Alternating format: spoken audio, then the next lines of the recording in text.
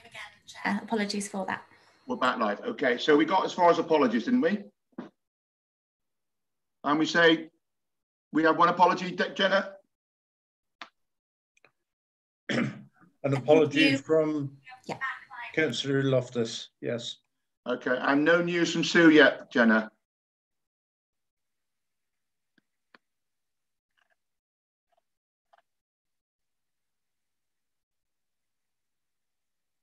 Can you all hear me?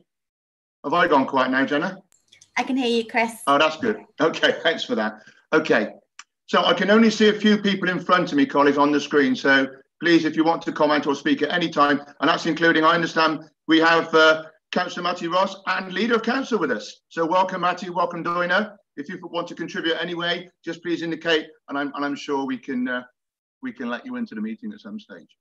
Okay. So we got to declarations of interest. Has anybody got any declarations of interest? If so, please raise a hand. I'm not seeing any. So next I want to move on to the minutes of the 23rd of January. Is there somebody like to move those minutes for me, please? Thank you, Gordon. Is there a second there? I can't see a second there. Ken, you're seconding. Thank you, Ken. Okay, so I'm assuming, colleagues, um, we're all in favour of those minutes. So happy to take them as, uh, is accurate. Lovely, thank you for that. Okay, wonderful. Okay, public questions. I understand we have no public questions. So we can now move on to item number five, and that's where we invite Chris to come and talk to us and give us an update on the Police and Crime Commissioner's annual update. Over to you, Chris. Uh, thank you, Chair, and good evening, everybody. It's always a pleasure to uh, to be here at Stroud District Council, even though we're all most of us doing it virtually. Um, when I was told uh, about the meeting, I was given a, a, number of things to talk about or suggestions. So, um, if, if, okay with you, Chair, I'll touch upon Safer Gloucestershire, which people do know I'm Chair of Safer Gloucestershire. Uh, I'll also talk about the uh, Black Lives Matter and some of the uh, fallout from that and future um, a bit about COVID, uh, some of the policing, and then a little bit about the refresh of the policing crime plan. I'll try and keep it as brief as possible because I know you've got a, a, a, bit of a clock. How long have I got out of interest? Because I can talk for England, as you know. Yeah, about 10 minutes, Chris. Could you get it in in 10 minutes? I'll, I'll, I'll speed ahead and happy to take questions at the end if that, if you're yes, happy. That, yeah, we'll do that. Yeah. yeah. So, uh, in terms of Safer Gloucestershire, many will, uh, will, know that this came into fruition by 2017 out of the county's uh, devolution bid. Uh, I took over chairmanship of Safer Gloucestershire in 2018. Um, it's to provide a kind of strategic oversight for community safety in the in the county, and I think over the last year, we've made some really good inroads. Uh, because of COVID, like many things, uh, the actual regular meetings were postponed. Uh, but that doesn't mean work stopped. And actually, uh, in some respects, I was quite glad you postponed your meeting uh, last month and delayed it to today because, in fact, I was writing my annual report for Safer Gloucestershire, so it's uh, fresh in my mind. Um, so I'm just going to go through quickly in terms of uh, what Safer Gloucestershire has done over the last year, just for a bit of awareness, really. And one of the great things I think I think Safer Gloucestershire has has brought to the table is around domestic homicide reviews. Um, we've got one uh, just about to start in Stroud. Um, this, uh, I think, one of the things that Safer Gloucestershire has done, working with partners, is to give a bit of uh, kind of join up across the county with regards to uh, DHRs because they can take a lot of time uh, and they're quite uh, they're hard work. And one of the things we've done, we've, there's a good protocol between districts uh, and uh, Safer Gloucestershire. Um, we have a list of designated chairs. We have uh, the DASV coordinator in the county who supports um, Mike and Nikki Humphreys at, at uh, your uh, Stroud District Council. Um, so I'm really pleased with the fact that over the um, the way this has developed has given a bit of coordination across the county, and actually sometimes that's really helpful because when you follow up DHRs, um, there's always lessons to be learned, and sometimes we haven't really picked up on that. I think as a county, because if, if there's a, a DHR in Stroud or Cheltenham or Gloucester, sometimes we haven't had that kind of join up. So that's one of the good things I think of having an overarching uh, board. Just for awareness, we've got currently uh, four domestic homicide reviews uh, in the county. Two have been signed off and submitted to the Home Office. One is currently being uh, finalised, and there's a further one, as you said, just begun in uh, Stroud. There is an, also another one, I believe, underway in Cheltenham. Um, antisocial behaviour. uh, I'll pick up on this because I know for many of you as local councillors, this is probably one that you get a lot of uh, mail on or correspondence from uh, residents. I do believe as a county, we probably need to do more with regards to ASB. And I think actually Safer Gloucestershire is a, a forum that can help coordinate some of that. So one of the things that we've done throughout um, lockdown, many of you, if you attend your own CSPs, uh, former Chief Inspector Richard Burge, we asked him to do some work for the for the OPCC at the beginning of January with regards to burglary. But when COVID hit, we asked him to take on a bit of a coordinating role, attending all the CSPs in the county on behalf of Martin and myself and the office. And uh, we've just appointed him to be our Safer Dates and Safer Days and Nights lead for the Police and Crime Plan because being a former chief inspector, his background setting up Gloucester City Safe and Stroud Safe as well, he's got a real kind of background knowledge that I think would be really, really helpful going forward. So one of the things I've asked him to do, working with the police and CSPs, is to look at the issue of ASB in the county, whether that's the stuff that uh, councils deal with, like fly tipping, environmentals, uh, ASB, to the more serious stuff where the police need involvement. There is something called the use of the community trigger. I know uh, uh, Councillor Robinson uh, is on the line today. and I know, Steve, you've mentioned that to me previously.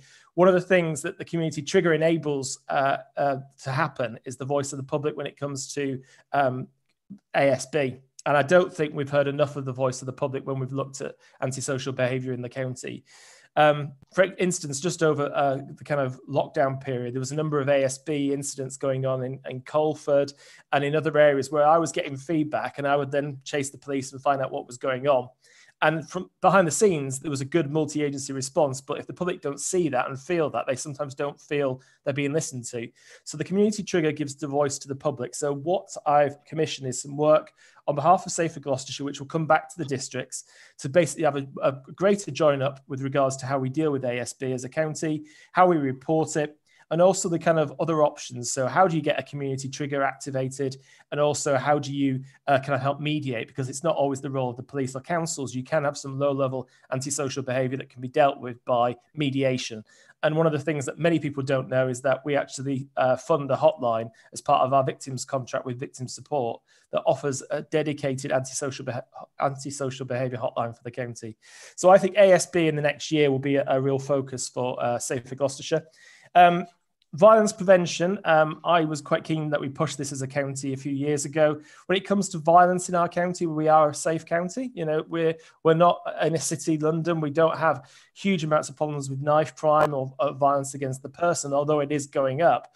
So um, we commissioned some work, uh, which we paid for a role within uh, Gloucestershire County Council in the Public Health Department. Um, we did the largest ever mapping and scoping out exercise of violence in the county. And what's come out of that has been some extra commissioning of services between GCC, the PCC's office, and others. And hopefully, because of COVID, we delayed a bit of an educational campaign. That will come out probably early next year now. Um, social isolation is another topic about resilient communities. This is a joint uh, Safer Gloucestershire and Health and Wellbeing Board priority. This is being led by the Enabling Active Communities. I'm heavily involved with that. It's early days because of, of COVID. We've paused a bit of the work. Um, drugs and alcohol always a, a, in any community safety strategy you always have to have something about drugs and alcohol because it's one of the drivers as we know uh, currently the county council are doing a bit of a review on that one for safer gloucestershire so that will be again another thing that uh, comes back uh, burglary, we had a bit of a spike in burglary a few years ago, especially in places like Cheltenham, even though Stroud had a bit of an issue recently. Um, some more uh, proactive work is going on with regards to burglary. And I know that the police are in discussions with the fire and rescue service about how we can involve the fire service a bit more in that one. And finally, with regards to Safer Gloucestershire, um, I'm hoping at some point, uh, end of this year, beginning of next year, to do a full county-wide survey involving all the district council CSPs and Safer Gloucestershire to really get a sense from what the public think about community safety. Because one of the key issues that you find in a place like Gloucestershire, which is relatively safe, is sometimes the perception and fear of crime outweighs the reality. And it's how do we kind of balance those two? So what I'd like to actually get do is a proper county-wide survey.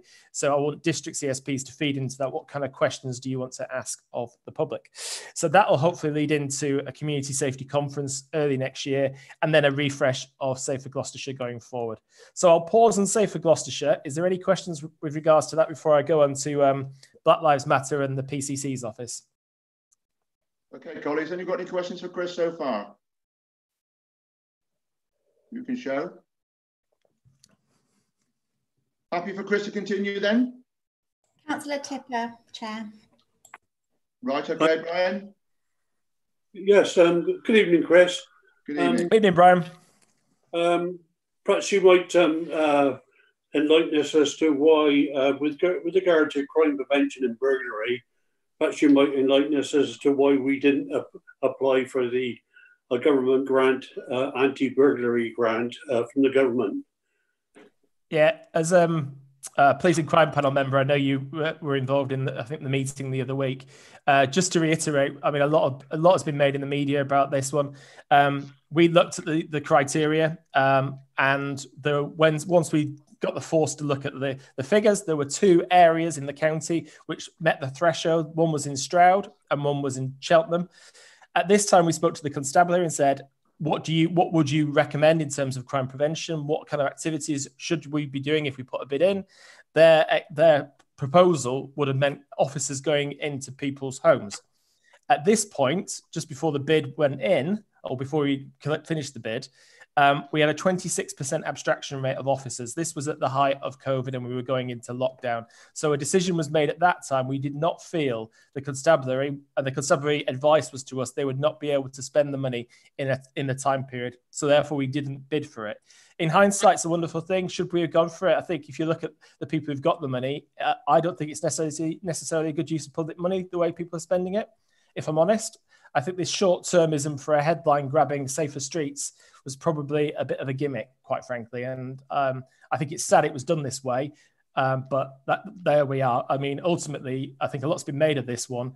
Uh, no one talks about the fact we've had 167,000 pounds for domestic abuse and sexual violence grant from government at the same time. So I think a bit of uh, politicking got involved with this one, if I'm honest, Brian. But um, you know, we made a decision, we went through a process, and uh, there we are. Oh, just to just to come back, uh, the money was there to be uh, to be applied for, and it was just a, a, a an opportunity. Um, whether we uh, had the opportunity to spend it or not uh, is um, pure conjecture, but uh, but it was there to be applied for. But we'll leave it there. Thank you very much. Yeah, thank you, thank you, Brian. I'm, I'm pleased about that because we did uh, exhaust it at the, at the police crime panel meeting, didn't we? So we had quite a long discussion on that. Yes. Okay. Anything else before uh, Chris moves on to COVID? Okay, Chris, want to move on to the next part? Yeah. Thank. Sorry, there's two hands up. Oh, sorry, Jenna. You've got Jonathan Edmonds and Steve Robinson. Okay, Jonathan, then Steve. Hi, Chris. Yeah, um, just on, yeah, you mentioned um, obviously drugs and alcohol, obviously, yeah, big issues um, with antisocial behaviour on that, and other obviously other issues. Have have we um, are we still have, have we had any problems with um, sort of gangs you know coming from uh, the city areas i know there was a couple of i think there was a couple of instances of that but um yeah i just wanted to know if, if that was a problem still or or potentially still a problem in terms of things like dangerous drug networks is that what you're thinking county lines yeah, sorry, I have forgotten the word for a minute. Yeah, don't worry. Yeah, no, absolutely. County lines is, is still an issue. There's some uh, an article recently, I think, uh, in the media about actually during lockdown, uh, some of the uh, drug runners were actually posing not in Gloucestershire area, but were posing as key workers. It, it's still an issue that affects uh, mo- most areas these days. Gloucestershire is a bit of a, a halfway point stop off for people. Um, when you look how we compare to others, we're, we're not as badly affected. I think I think a few years ago, probably 18 months ago, we probably had 18 gangs operating in the county. That has been uh, reduced. Um, that I know you, you, the look at your face there, Jonathan. He's like, how many? That's actually quite small, you know, compared to yeah, absolutely. So we're we're not as heavily hit as some areas. That's not to say it's not a problem, and a lot of work goes on behind the scenes to kind of disrupt these organisations. We we know for a fact the biggest drugs. Uh, de- place where drugs come from into Gloucestershire is Lewisham in London, and a lots of a lot of work does go on to try and you know disrupt it. But this is a national problem, and you know it does take the kind of the, the, the regional crime squads as they were uh, a lot of work, but also local work as well. So it is still a, a bit of an issue um, for all of us actually. Was that your final question? That was the other one. Was that it? Thank you, Jonathan. No, no, that's fine. Thank you. I'll let uh, Steve come in. Yeah, thank you. Thanks, Jonathan. Steve. Thank you, thank you, Chair. Thank you, Chris. Um, pleased to hear that regarding the community trigger and the you know the the very few that have used it, um, and that you know you're you're you're looking to promote it more and to make it more available so so that people know it's there is a as mm. as, a, as another use. Um, you mentioned as well about the fire service. Um, do I take it then that you're hoping that they will, some of these fire officers that go out and do their community, you know, particularly in elderly pe- people's homes, um, will be trained in crime prevention, so they'll be able to give advice on, you know, locks and window locks and all the usual things that used to happen when, you know, when those officers were available. Yeah, Steve, you hit the nail on the head. That's what that's what I'd love to see. I think there's a real uh, capacity for the fire service to play a real a bigger role, a greater role with regards to community safety. And you know, the fire service are represented on Safer Gloucestershire. And when we did the burglary update uh, that came to Safer Gloucestershire, the fire service offered to liaise with the police and, and do some more work. So I think as chair, I need to I need to follow that up with the fire service and the police to say what are you doing because I do really think there is a real great opportunity when they're doing those safe and well checks to also do some crime prevention and community safety advice. Because why wouldn't you? Um, I think I think personally the problem has been um, over the last decade with austerity is that especially with the police they've been very much focused on the job in hand, and we, the police are very good at taking control and doing their job. But actually, we need to get back to doing more partnership problem solving activity because that's where you'll get the, the kind of the greatest reward. I think rather than just solo organisations trying to fix the problems. Thank you, Chris. Thank you, thank you, Steve. I don't see anybody else indicating. So do you want to carry on, Chris? Yeah, and I apologize, Chris, because you've heard a bit of this at the the, the police and, and crime panel, and, and, Steve and Brian. So, but um, I'll do it again. Um, in light of obviously COVID, in light of Black Lives Matter and and the Black, Black Lives Matters and the, the, shocking death of George Floyd, and in light of the fact that the, the PCC election was postponed until um, next May, uh, we felt it only right and proper that we review the police and crime plan to be more uh, current in terms of reflecting what's happening in society. So we've reviewed that, and at the heart of it is that issue of inequality. Is, is the issue that ultimately, uh, what is the hallmarks of a of a county force? That is its core core job. You know, crime prevention, tackling antisocial behaviour, burglary, those key crimes. Bearing in mind, we we know that's what a, a, a good force should be about, but over the last decade, they've been dragged in, as many of you will have seen with the reported missing program, to deal with missing people, vulnerability, mental health. And this is about kind of trying to say this is what we would like, bearing in mind the context and, and the resources. So Martin has made the Every Crime Matters mantra um, a big thing about the, the next policing crime plan. And that is, you know, no matter what kind of crime it is, well, no matter when you call the police, you should expect a reasonable service. And what that reasonable service looks like, the, the constabulary need to really be held to account for that. And, you know, the finer details of that, we're still working through with them. But for us, that really, really matters. So every contact counts as well, you know, and alongside that, every victim, uh, the victim of crime, what should you reasonably expect from from your force? So a lot of effort and time will, is going into that priority. And um, just before probably early days of lockdown, um, Martin made the chief constable uh, a million pounds from reserves available to spend on public contact. And um, we were, it was before lockdown, and we were uh, planning, plowing ahead really with a bit of an awareness campaign. Because one of the things I think the NHS have been very good at is signposting people and triaging them to the right place. I think many of you will know that, you know, the 101 line across the country is not fit for purpose, quite frankly. It doesn't, it's not working as well as it should do. And that's not just in Gloucestershire, that's across the country. I think if you find, I had a look recently, the 99, the 101 waiting times for, I think it was, um, I'm trying to think which force it was, Hertfordshire Police, 101 waiting time for Hertfordshire Police was four hours. Um, and that four hours exactly you know? So it doesn't work. So what we're trying to do is is in a public awareness campaign as part of the every crime matters is to say to the public if it's an emergency if there's a crime in action if there's a threat to life 999 without a shadow of a doubt. If it's non emergency, wherever possible, the best way to report the crime or report intelligence, and actually sometimes it is in the intelligence that people have been put off in reporting because they're, they're so long on a phone line, is to go through the constabulary's website. A lot of work has been done, done nationally to make forces websites all look similar so you can report crime and it go you, you fill in your name and your details and it, it gets triaged better Um, you could say, why has this not happened till now? That's, you know, it's like an oil tanker sometimes, I think. Uh, but uh, what we'd like to see in the coming months is a concerted effort by the constabulary to educate the public a little bit more about how they contact the police and what they can expect from the police. So that's the kind of every crime matters. There's a lot more detail in this, and I'm, I'm acute, acutely aware of time. So I could, once we we're actually officially um, launching it next week, and I think uh, a member of Stroud District Council has been invited to the launch, but we'll send you and the CSP the proper plan so you can trawl through it at your leisure. And I'm sure you might have further questions for me if I if I come back, when I come back, of course. Any questions, Chris? Sorry. Uh, we've got one, Brian. Unmute yourself, Brian. That's it. Thank you, Chair. Um, no, very, very quickly, uh, it was at the PCC meeting it was recognised that the 101 uh, system was a, a bit um, archaic and um, and it wasn't working, and um, there were reasons why. In that uh, the police were taking calls that they shouldn't be taking, and mm.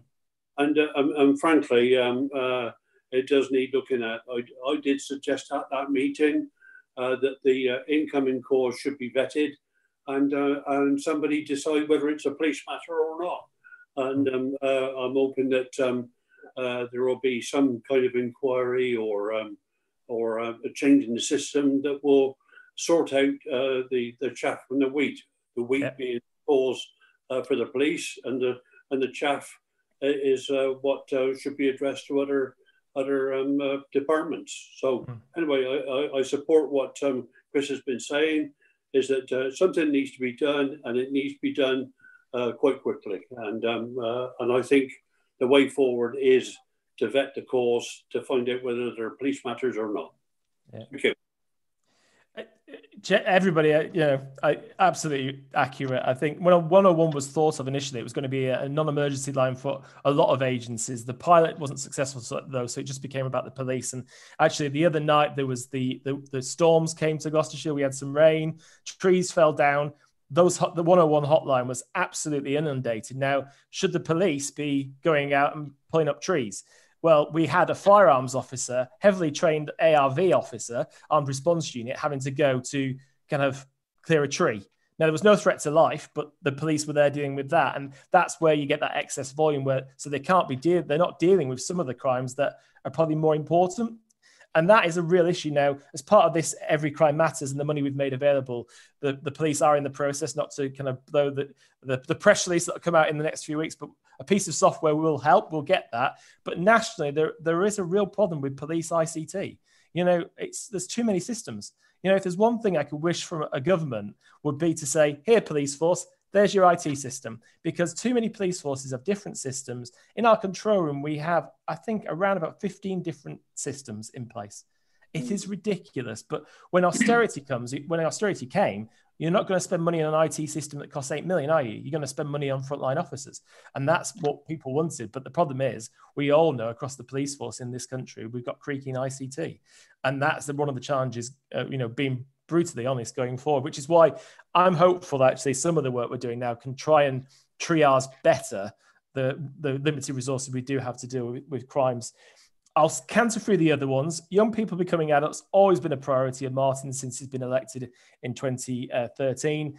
That will remain. Children's First is, a, is a, an initiative we brought in a few years ago. That's diverting a lot of young people away from the criminal justice system. You may have seen recently, Martin did a bit of a rant on Facebook. I don't know if any of you saw that about the courts. You know, we have a backlog in our only surviving court in Gloucestershire, the Magistrates Court, of a thousand cases. They're already penciling cases now to 2022. Uh, the backlog is huge, and that's just in the magistrates, and the knock-on effect goes to the Crown Court. Now, you think there's a thousand witnesses and victims there at least who are not getting justice. And that is a real, real problem. So for us, you know, yes, we still want to go, you know, there are some people who always have to go down the criminal justice route, but for others, can we go through a better system? And that could be a restorative approach, which has been really successful in somewhere like Surrey. And we we started it two years ago, and I think in its first year, 240 young people in our county went through that system rather than going through the criminal justice system. And out of that, we had a, a 13% reoffending rate as opposed to I think it was a 45% reoffending rate before it. So I think that that was a that's, a, that's been a success in our in the young people becoming adults portfolio. But it's not just about us; it's about the county council, it's about partners as well. So I can't take full credit for that, even though sometimes it's nice to take credit for things. Um, oh, young people becoming adults, so that will maintain. You know, especially in light of COVID. Like one of the things I said to you that you know this has been written in light of where what we're going through, the mental health of some of our young people um, we really need to be mindful of that, and that's what we we've got a new lead for young people becoming adults. A lady called Jane Dyer. Uh, I think she'll help really lead this she, uh, priority. She used to be work for Gloucestershire Young Carers, now works for Bridge Training, which is a, a, charity that deals with kids who are excluded from schools. She's really passionate about the voice of the young people. So her involvement in this priority will really help drive that agenda. Older but not overlooked um, is a priority that will continue. Uh, Phil Sullivan, as many of you will know, formerly of your parish, uh, the legend that is Phil, uh, will carry on doing this priority. This is about vulnerable groups, again, following on from some of the good work we've done previously. That I'll maintain. Um, safe and social driving becomes safe and social roads because I think it reflects the fact it's not just about driving, is it's about pedestrians, cyclists, walkers, um, and we've got a really exciting new lead for that. Who used to work for Saab um, and uh, the in, in international car industry. And he, he is a, he's a pocket rocket, if I can describe him as that. Um, he set up the Gloucestershire Older Drivers Forum, uh, and he's got a really interesting backstory in that his mother um, was killed by his uh, stepfather because he should have stopped driving, and he, he crashed the car and killed his mum. And his personal story has led uh, Nigel to really push this agenda. So again, I'm hopeful about the safer social roads. Um, and then so that and then there's safer days and nights and that priority under rich burge as i mentioned under safer gloucestershire will be looking at antisocial behaviour one of the successes we've also had is in places like gloucester where we've had city protection officers I mean, these are like your, you know, your wardens. I mean, I, I live in Stroud district. I'm so proud that as a district we've still got, you know, neighbourhood wardens. They do an amazing job. Gloucester, you have city protection officers. You know, the neighbourhood warden model or the city protection officer model could be rolled out across the Cotswolds and it could be really amazing. So, Rich is doing a lot of good work on my safer days and nights um, kind of portfolio and that portfolio, and that will feed into Safer Gloucestershire. So, we get partnership buy in. I'm running out of breath and I'm probably boring, maybe boring you. But the final thing I just want to say is in terms of uh, Black Lives Matter, um, Martin and uh, actually we all saw the events in, in America, and policing in America is very, very different. Firstly, from policing in the UK, um, but it did have an impact. And Martin, as a, a, former officer, it really impacted him. And we, we he spoke to the chief, and we've set up a, a community legitimacy panel, um, which consists of members of the county's Black, Asian, and minority communities. That will just sense check where we're going as an organisation, and also help inform where we go in the future in terms of uh, you know how we are as organizations. Um, just a bit of good news i suppose is we're on target for our uplift for officers still. You know we're going to get over the next few years 152 officers from central government on top of the 77 that local taxpayers you funded. Um, and we're on track in terms of our ethnic diversity at the moment uh, in terms of recruitment. So that that's a good thing uh, for gloucestershire. And the final thing i suppose in terms of everything in uh, covid um, uh, you know we're all what is the rule at the moment? Rule of six what does that mean? How you know it's very confusing i think for many of us. Um, the police i think in this county did us proud in the early in the early part of the lockdown and, and the rest of it. You know they engagement before enforcement you know they did a very practical way. I think you'll see across the country a bit more enforcement going forward because i think there is a real worry where we're going in terms of you know escalating um, uh, virus rates. So I think there'll be a little bit more forceful policing uh, uh, across this county as well as others. Um, the, I'll end with one final thing, and I've, it's because I've, I've, got someone in the office to do a bit of a pull off for me, just to give you some reassurance. Uh, latest crime rates for Stroud District, and this is the last 12 months up until the 31st of July 2020. And this is crimes per thousand population. Now, when we compare force by force, you compare against eight forces, and Gloucestershire um, is I can't remember where we are, but we're, we're doing all right in the in the in the national slide. I think we're six in the, at the moment uh, in terms of 43 forces. We have gone up because of better crime reporting, but in terms of Stroud District, you get compared to 15 other areas. Okay, 15 other areas. Um, the most safest place in your group is East and Mid Devon. Then there's South Devon and Dartmoor. Then there's Tewkesbury, and then there's Stroud. So out of 15 groups, you're number four on the list. What that equates to is out of a thousand crimes per thousand population, your current crime rate is 47 crimes per thousand population. Your average for similar areas is 51. So we're not doing too badly in Stroud. So take some reassurance, please, uh, councillors, and pass on the message that although things are always not wonderful and there's always more we can do, you do live in a nice, or we live in a nice area because I live in the district too. Absolutely. Well, that's a nice thing to finish on, Chris. Okay, we've got a couple of questions. One, Jonathan, and then Jill. Oh yeah, um, yeah. No, it sounds great, Chris. You know, with the um, about the um, Black Lives Matter and the ethnic panel. Um, where um, I think I read that uh, stop and search has reduced because obviously I, I, think I read about four years ago that it was quite high for BAME um, people. Um, but I think you've dramatically reduced it in, in recent years. Is that is that right? Is it? I, I think so. I don't have the figures to hand. What I do know is that the recent the new the recent launch, relaunch of the Stop and Search panel we've got a lot more members from the BAME community actively involved in it as well. So they're actively involved in scrutinizing it. And I think you're right. I think the numbers have reduced significantly. I think it's still quite high, if I'm honest, because I think, hmm. you know, we have a certain popul- a population of black and ethnic minorities in, in, a certain area in Gloucester, which sometimes yeah. do, do get, you know, it's quite not targeted, but when they're out there, it's quite, you know, hard to sometimes hmm. police it and get it right.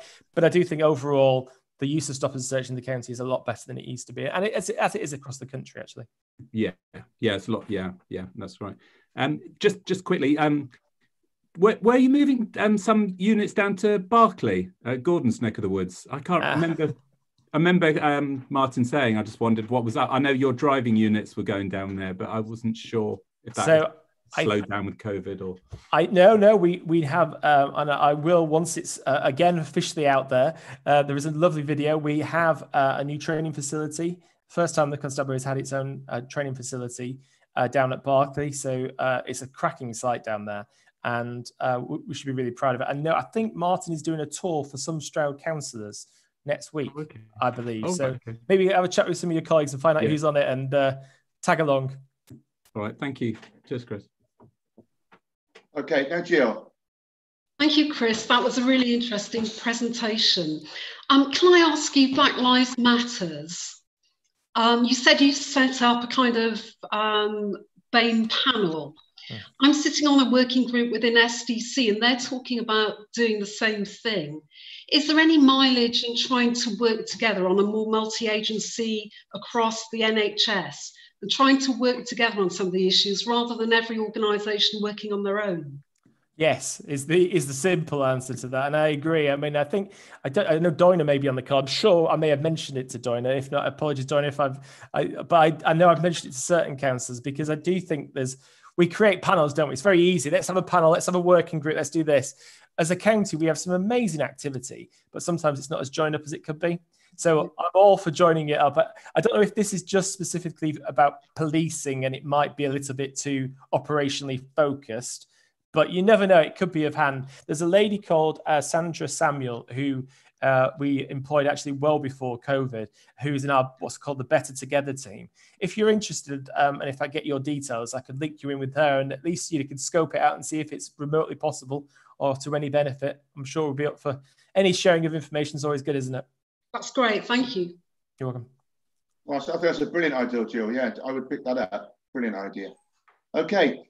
Any? I haven't got anybody else indicating. If that's the case, Chris, I'll let you rest your voice now. Thank you once again for your energy and your passion. Because one you. thing I know about you, you're really passionate about Thanks, about Chris. your subjects, and it comes across in leaps and bounds. So thank you once again for a very comprehensive update. Thank and you, Chair. Some of the advances this time next year. Fingers crossed. And thank you, everybody. I'll go and uh, make my dinner now. yeah, absolutely. Goodbye. Thank you very Take care. much indeed. Bye bye, everyone. Bye. Okay. Okay, College, what I intend to do now is bring item 10A forward. So um, Steve Lydon can give us an update on the Gloucestershire Health and Overview scrutiny to see if we can poor Steve here all night. So Steve, are you still with us? I can't see you. Yeah, yeah, I'm here. I'm on. I've got the. Can people see the video? I've got it on. Yeah, you are yeah. Okay. Yeah, thanks for this. Um, and nice to see Chris again. Um, yeah, really, I'd normally come along here to talk about the health overview and scrutiny committee. Um, but obviously, with COVID, there's now a new group being set up, which is the I won't bore you with acronyms. It's the Local Operational Management Engagement Board, um, but it is quite important. Um, so I thought, and I was going to go to S&R to talk about that, but a lot of the stuff crosses over to the health, as you would guess, what's going on with COVID has a effect on what's happening with the NHS in terms of delivery of services. So I think we all thought there was value in blending them together. Um, I'd like to do what Chris has done before, though, is really give you some background and then gladly take any questions. Um, first of all, did people get the paper I wrote? Did that go out? Yes, it did get circulated. Did you get it? Yeah. Yeah. Has everybody got it? Yeah. Okay. Well, there's no point. There's no. There's no point me repeating a lot of the stuff in there. Um, if if I can start off with the COVID stuff. Um, yeah, as I mentioned, there are these. board, There's the local operational management board, which is responsible for looking at the delivery and in terms of uh, local outbreaks primarily. And John Beckett, on behalf of the district council, the head of our environmental health, goes along to that. What I sit on, behalf of the district is what's called the engagement board, which sits, I suppose, beneath him. And that's responsibility is a bit of scrutiny, i.e., to check what's going being done at the, the main board, but also to advise and guide, particularly on comms and key messages um, when we have a local outbreak. And that's the primary role of both of these groups. So they're not about managing the whole of COVID and everything that's going on. Their primary role is to look at, as and when we have a local outbreak, what can we do? How do we react? What are the, the key messages we, we need to get out there? And that's, but it does, of course, touch on some of the other wider issues. Um, I've listed in there who's who's the membership list. It's chaired by the leader of the county council, uh, Councillor Hawthorne, uh, and the public health people do come to, as do the communications people. I mean, getting on to some of the key issues, um, I get a weekly thing called a dashboard, which actually gives you as much info and data as they possess um, the trouble is, and of course, in this day and age, you can understand why, I hope.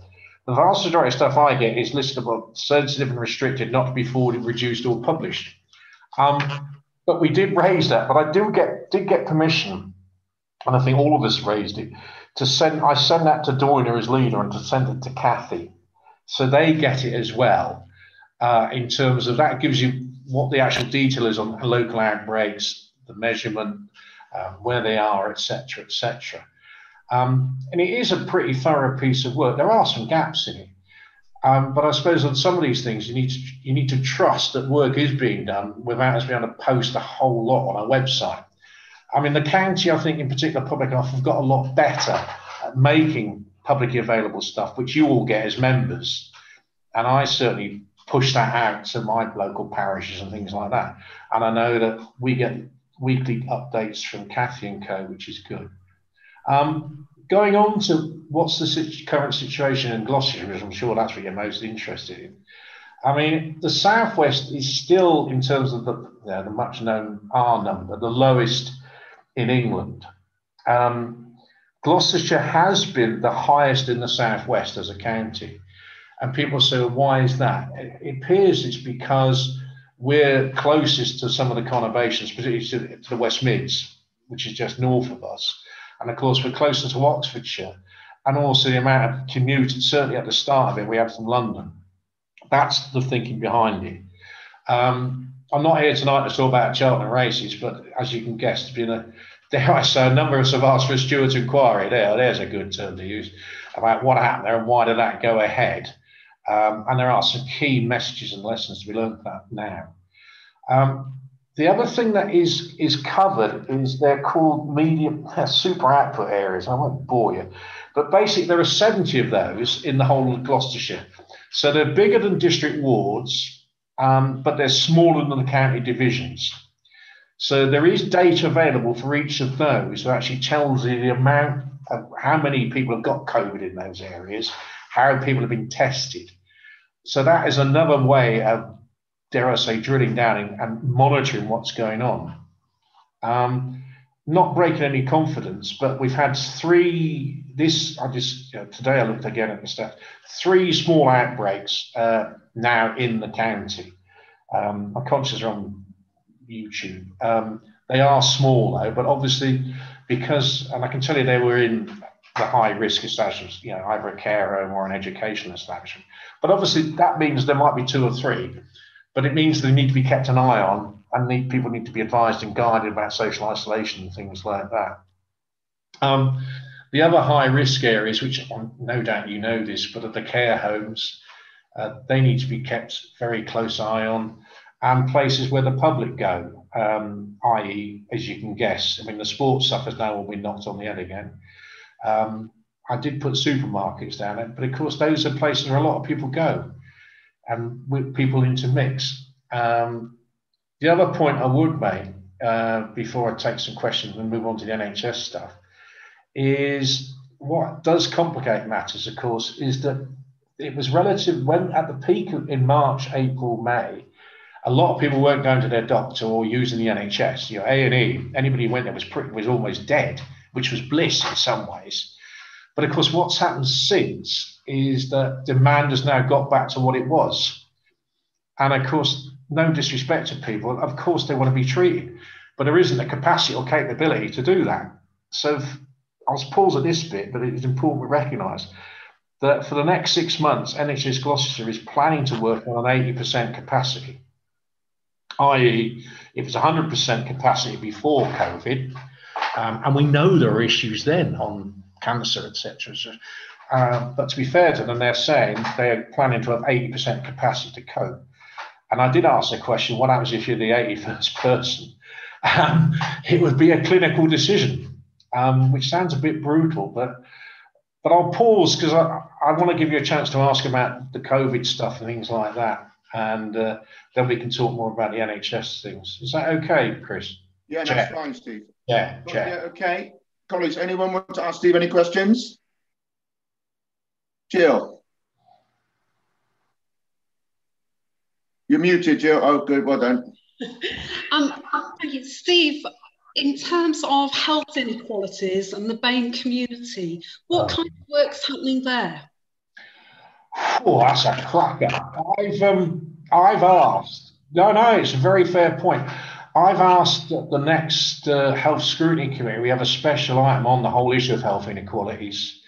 Um, because COVID has actually compounded what has been an old problem. I mean, I go back to the days of the Black Report in the 80s, um, and it's and it's critical, yeah. And uh, the certainly the NHS people and public health no, do understand that there are particular communities which do need to be drilled down into. Um, and it's important that in fact that's respected. But on the whole inequalities agenda, yeah, there is more to be done. There's no doubt about it. Um, and I, I can rattle on, you know, people will know poor housing and low income, etc., etc. One of the knock-on effects is you're more susceptible to infections, etc. And of course, COVID is now one of those. Um, so there's a big role for us all to play.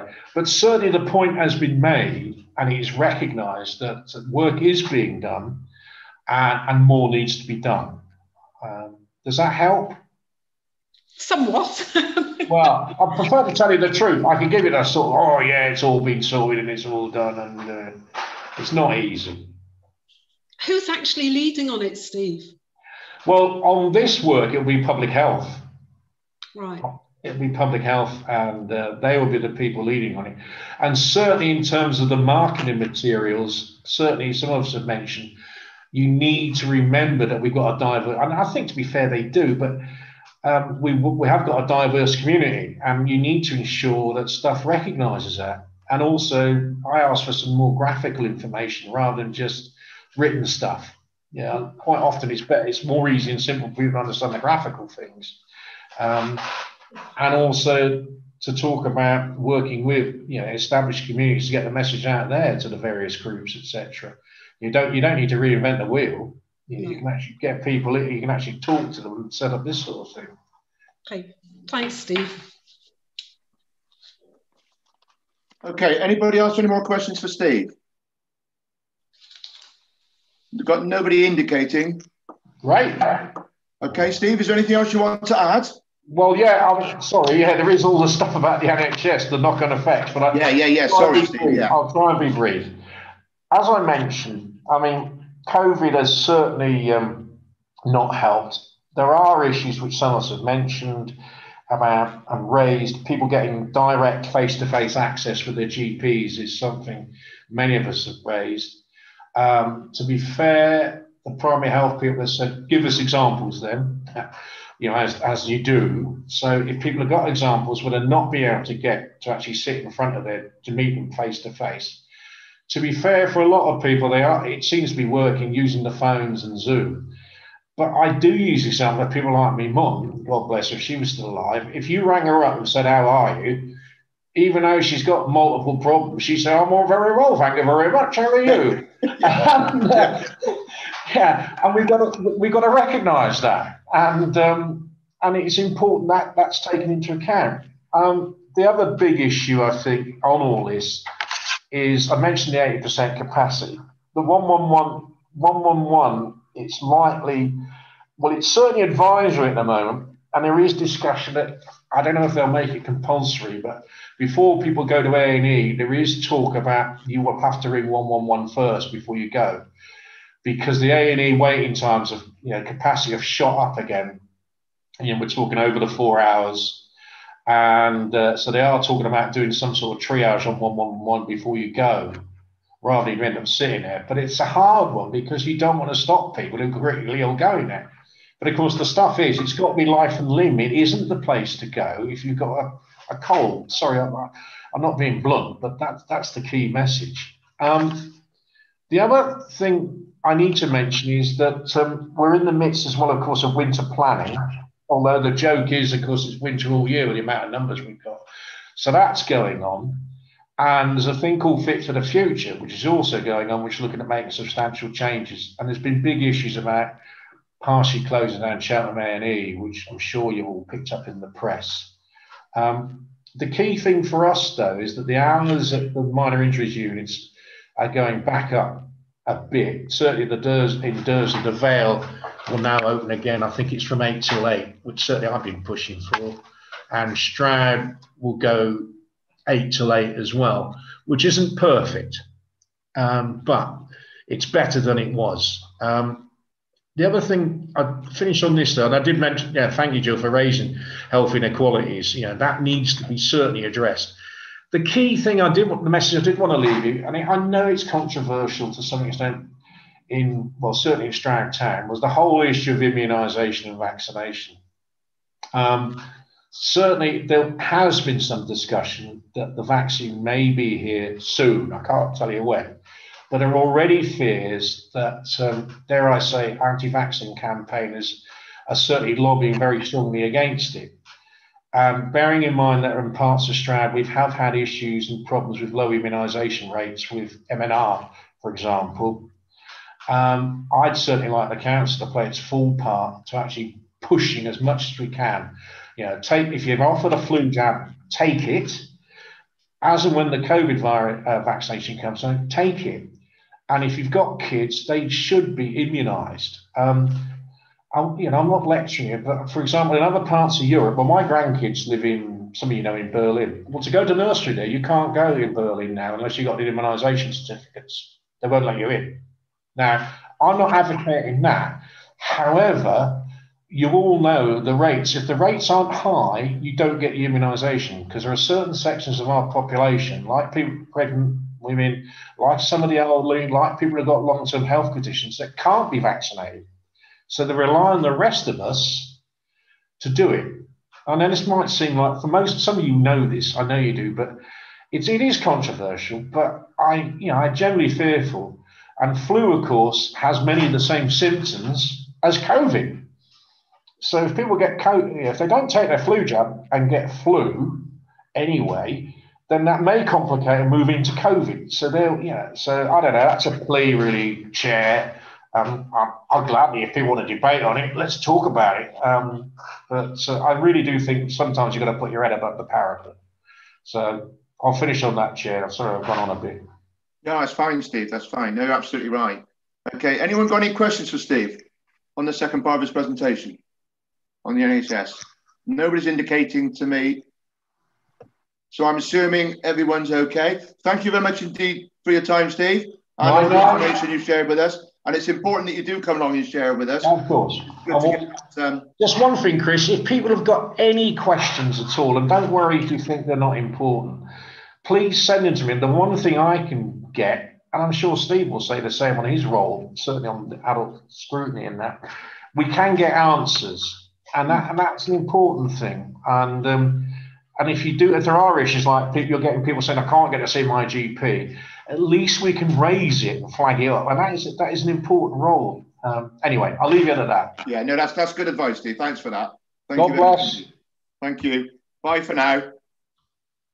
Okay, colleagues, we'll now go to um, item number six, which is review of Stroud District Council's statement of licensing policy.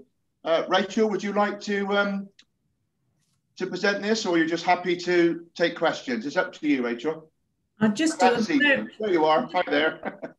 I'll just do a really brief, just a couple of just a couple of words, if I may, Chris. So pleasure, just yeah. okay, just to remind everybody uh, that we looked at this earlier in the year. Um, the policy went out for consultation between June and August this year and we did get quite a few comments back, quite a few particularly from town and parish councils, uh, and they're all shown in the appendix to the report. A working party looked at them and we agreed some amendments, and we've got a final draft policy, which is Appendix B. Just one very quick point that uh, John Jones picked up there is a duplication of numbering in Appendix B. There was a, a new paragraph put in about proxy sales, so I will get that all um, amended before the policy is finalised. Um, now, the licensing policy by law has to be adopted by full council. So this evening we're asking committee to agree a final statement of licensing policy under the Licensing Act and for committee to then recommend to, to council that it's adopted at their meeting on the 22nd of October. So if anybody's got any questions, I'm, I'm happy to answer them. Thank you, Chair. Thank you, Rachel. Any questions, anybody? It's pretty thorough, isn't it? Because as we said, it is, you know, we reviewed it and this is the final draft. So if everybody's happy then, I'll, I'll move to the advice. And the advice I got is that the committee resolves to approve the final draft statement of the Licensing Policy Act and recommend adoption by full council. Is there somebody happy to uh, propose that? Steve has, thank you. We got a second there? And I can see Jonathan. Now, colleagues, I always, I'm not a great lover of calling votes. I'm a very keen um, promoter of consensus politics. Now, I'm pretty certain that everybody's in favour. Gordon, you want to ask a question? Sorry, sorry, Chair. We do unfortunately have to do a roll call because of the Constitution, so it has to be a roll call. Oh my goodness, things do change in time, doesn't it? I know. okay, well, I understand, Gordon. Uh, I've got Gordon for a question, Gordon. Uh, Chris, no, it's not a question. I was just uh, raising my hand in favour of the. Uh... Oh, thank you. Okay, well, Jenna, well, we'll have to go old fashioned. Well, we'll have to go new fashioned then, won't we? And do a roll call. So, so over to you, Jenna. Lovely. So it's for, against, or abstain. Um, so start with yourself, Councillor Brine. Yes, for.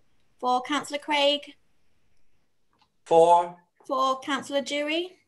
For. For Councillor Edmunds. For. For Councillor Jones. Or with the amendment. With the amendment, yes, John, you're right, yeah. Councillor Oxley? Four. For Councillor Prenter? Four. For Councillor Robinson? Four. Four. And Councillor Tucker? Four. Four. Lovely, that's unanimous, Chair. Excellent, thank you very much indeed. Okay. Speak, Chair. You missed Brian. Apologies, uh, Brian Tipper. Councillor Tipper? Four. Four. That is unanimous. So that does make it unanimous. Excellent. Okay. So moving to next agenda item now, then, which is agenda item seven, and the extension of public space protection orders. Um, Mike, are you with us?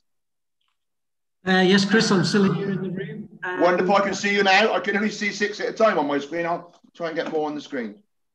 So yeah, uh, do you want to um, to lead on this one, Mike? Yes, uh, thank you, Chair, uh, Committee. Um, regarding this extension of the Public Space Protection Order, which applies to the Stroud town area and Dursley uh, around street drinking. Uh, the order used to be, uh, it's been in some time. We're required that we have to renew it and we have undertaken the consultation uh, that is required under the uh, requirement. And this is to uh, put an extension of three years on the current um, order. Uh, so we are hoping the committee will note that they agree with that to give the police powers that should people be drinking within the, uh, the areas within the plans on the appendix, uh, they can take action against them. Uh, it's been very useful, especially when we've had things like the Fringe Festival, um, and it assists the police in able to reduce antisocial behaviour within those areas. Any questions, Chair? Okay, thank you, Mike. Any questions for Mike? Looks like we're on roll, colleagues. So is everybody happy? Can somebody move the report? We have a proposer, Ken. Thank you, Ken. A seconder? And Steve Robinson. So that's now proposed and seconded. So if there's no debate, any debates, colleagues? Should we go to the vote then? Okay, Jenna. Lovely. So Councillor Brown. Four. For Councillor Craig. Four. For Councillor Dewey. Four. For Councillor Edmunds. Four. For Councillor Jones. Four. For Councillor Oxley. Four. For Councillor Prenter. Four. For Councillor Robinson. Four. For Councillor Tipper. You're on mute, Councillor Tipper. Four. Thank you. And Councillor Tucker. Four. Four. It's unanimous again, Chair. Excellent. Thank you for that. Okay, we'll move on to the uh, the big one of the evening, number eight, which is commissioning of strategy for leisure and wellbeing provision in the Stroud district. So over to you, Keith. Thank you, Chair. Um, um, as you say, a, a, a significant uh, piece in front of us here. Um, and what I want to do, rather than go through it page by page, is just provide a few words on context. Yeah. Talk very briefly about the primary outcomes. Look then at the selection criteria which we intend to um, follow in the appointment of consultants, and then talk about the timescales. So, in terms of context, this is coming back to committee following um, approval in January to to set money aside to appoint some consultants to to look at and review the provision of community leisure across the across the district, um, with the proviso that the tender, as we appointed consultants to look at that, came back for consideration to this committee, which is what I'm doing now. And the report really is to introduce the tender document. Um, so the tender document is significant because it's going to actually set the parameters for us to appoint our experts to, to, to come and work with us to carry out a, a detailed review of provision across the district for the next 20 years.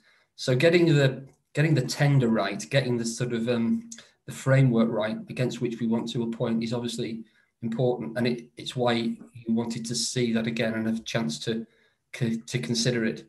So um, appendix to the report is the draft tender document couple of things to start off with at that point, I would say, is we'll be appointing um, expert consultants to come in to produce a draft strategy, not to produce the strategy, but to produce a draft strategy, which will be very much um, for um, consultation with and development and approval by the council as it sees fit. So we're asking people to produce um, a draft that would come back. I think the second thing to say is that we'll be looking for, yes, a strategy document that gives us a sense of vision for the future for the next 20 years, but is more than that, that is very much an action plan for what we should do with associated costs. It's really important that we have a very clear vision for what we want community leisure to be in the district for the next 20 years. But actually, that when we receive that, we're receiving something that has got some guidelines, some framework, and some um, some actions and recommendations that allow us to get our teeth into it and to move on it with real um, uh, uh, vigor once we get that information. So I think that's the important thing to say. The strategy is great, but it has to have an, uh, an action plan behind it, and that's clearly identified in the in the tender brief that um, is a, an appendix A. It's looking for four principal outcomes, um, an overarching vision for the future of, of, um, of, of leisure provision across the district. Um, that isn't just about our two facilities. It's not just about um, what we deliver as a district council, which is critically important. We know that. But it's about what happens across our communities and across the district um, and how we as a as an authority can i suppose you would say use our um, influence use our facilitating capacity use our enabling function to make sure that we maximize what is available in terms of leisure and importantly in terms of well-being. This is not something which tends just towards sport. It's about looking at our community's well-being. There's a i think there will be a very strong emphasis on participation in physical activity but it needs also to reflect the importance of good mental health, of, of psychological well-being. And, and what we should be doing as a district council, what our district can be doing, and how our voluntary sector and communities can work with us, and how we can work with them to get something that really um, that really works for everybody in the community. I think, and it, it's it's timely and appropriate given some of the other things that have been spoken about already at this meeting that we very much look to the future about working in partnership with um, health professionals, with public health professionals, um, in, in a preventative context um, for our communities moving forward. And I know if, if there were um, public health professionals around at this meeting, and as they can, we want them to be able to contribute to the to the work as it goes ahead. They, we all know that working together, working across sectors, working with a sense of vision and investment in the in the longer term for our communities is is the way to address to to address well-being and actually and importantly and i'll mention it again later um, help to address some of the inequalities um, that exist by virtue of people's ethnic background or gender or where they live or their income. Um, and it's interesting too that that has already been mentioned um, in the in the meeting already tonight. So there's that overarching vision but it needs to be something which brings everybody in. There's an element of the report which will look at how the, our two principal facilities, which we own, one of which we run, one of which we run through a contract, um, are, are, they physically fit for purpose and are they fit for purpose in terms of what they deliver? Um, the uh, Stratford Park Leisure Centre was conceived in the 60s, it was opened in 1974. What was completely appropriate 40 odd years ago is it appropriate now? And, and and by the way, are the electrics, the pumps, the the all the the the, the back stairs, um, electrical and mechanical um, facilities that, that that hold that place together really? What sort of state are they in? And if and if and if, and if they're not in, they're not either fit for purpose by virtue of de- design or by virtue of the sustainability of the physical fabric, what does that mean in terms of the future, in terms of what we do? And that bit of work cannot be disaggregated from the first part that says what is it we need to offer and look at and achieve over the next 20 years for our communities. There's a third outcome which is critically important, and you'll see how these things mesh together, which relates to Stratford Park itself as a park. It's a, it's, it, it has a really important role to play for the obviously for those people who live quite close to it, but as a, as a district focus as well, it's an important piece of, of green space. It has within it, of course, the museum, and that needs to be recognised how that works. It's got the, the, the leisure centre itself. It's got other sports facilities, but it provides a really important recreational space and a space for well-being and um, informal exercise, exercise and, and socializing. And it, and probably it's in its conception, however many years ago, you know, these areas of public space were always seen as something which is going to contribute to community well-being. You know, we need to look at that and think about what we need to be doing with that space and the facilities within it. Um, finally, um, we would like the expert consultants to come in and provide some advice and some carefully measured assessment about how we run our leisure facilities ourselves. At the moment, we have um, a contract with SLM, Everyone Active, as its as its trading name, um, and they operate Stratford Park Leisure Centre. At the committee meeting on, in January, this committee agreed to extend that contract until October 2024. But I think, as probably everybody is aware, um, and, and, and also we've got the, the pulse which we which we run ourselves. I think, as everybody is aware, um, there are, there's two examples in just within the district, but there are there are a number of ways in which um, local authorities can can deliver leisure services. Um, and it's not a statutory requirement, by the way, that, that, that it does that. Um, but that might be the model where an external an external company comes in. Might be a model that we do it ourselves. It may be, and there are a number of models that, that it could be an arm's length model or a trust model that has various advantages and disadvantages in terms of um, control and, and um, management of, of um, non-domestic rates. Uh, we want to be able to understand what those options are, to see them clearly laid out. Um, and it's an important part of this piece of work that we do that. That part as well, I don't think is, is can be seen as discrete. One of the things I said uh, early on is our relationship with, for example, public health. Um, and what what and how we operate our facilities needs to reflect what we want those facilities to, to deliver. And one of the one of the things we're looking for consultants to explore is how we work not just in and it's important not just in day-to-day partnerships or year-to-year partnerships but potentially in key long-term financial partnerships so that we can deliver population change in terms of well-being and to be able to explore uh, and and express the fact that actually population change just in terms of population change for physical activity at a population level reduces the cost and pressure on the NHS in years to come. And we need to be looking over 20 years about finding partnerships that are going to allow our population to benefit from good health, well-being of all sorts. But actually, in order to achieve that, we need to be making a business case to, to our partners to say, come with us and potentially invest in that work. Because it, over that time span, we want to see a health service that's under less pressure we want to see a health service that is dealing with people who are genuinely in need that are not and, and reducing non-communicable illness because of lifestyles. And we can influence that and we can work and we need to we need to take that responsibility really seriously and set ourselves in a in a good place to do it deal with people who've got long-term conditions and so on. So those four outcomes are are really important. Um, uh, um, I suppose what I want to mention as well, as we're looking to employ consultants to do this work for us, is um, rather than go through page by page, by page, is just to draw your attention to um, the criteria with which we want to assess the consultants, because um, this is like our gateway.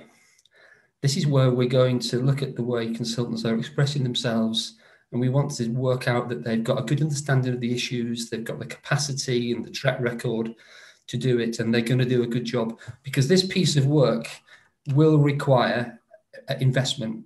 We will be paying external consultants um, tens of thousands of pounds to do this work. We, we want to get the right people. We want to see it as an investment for 20 years.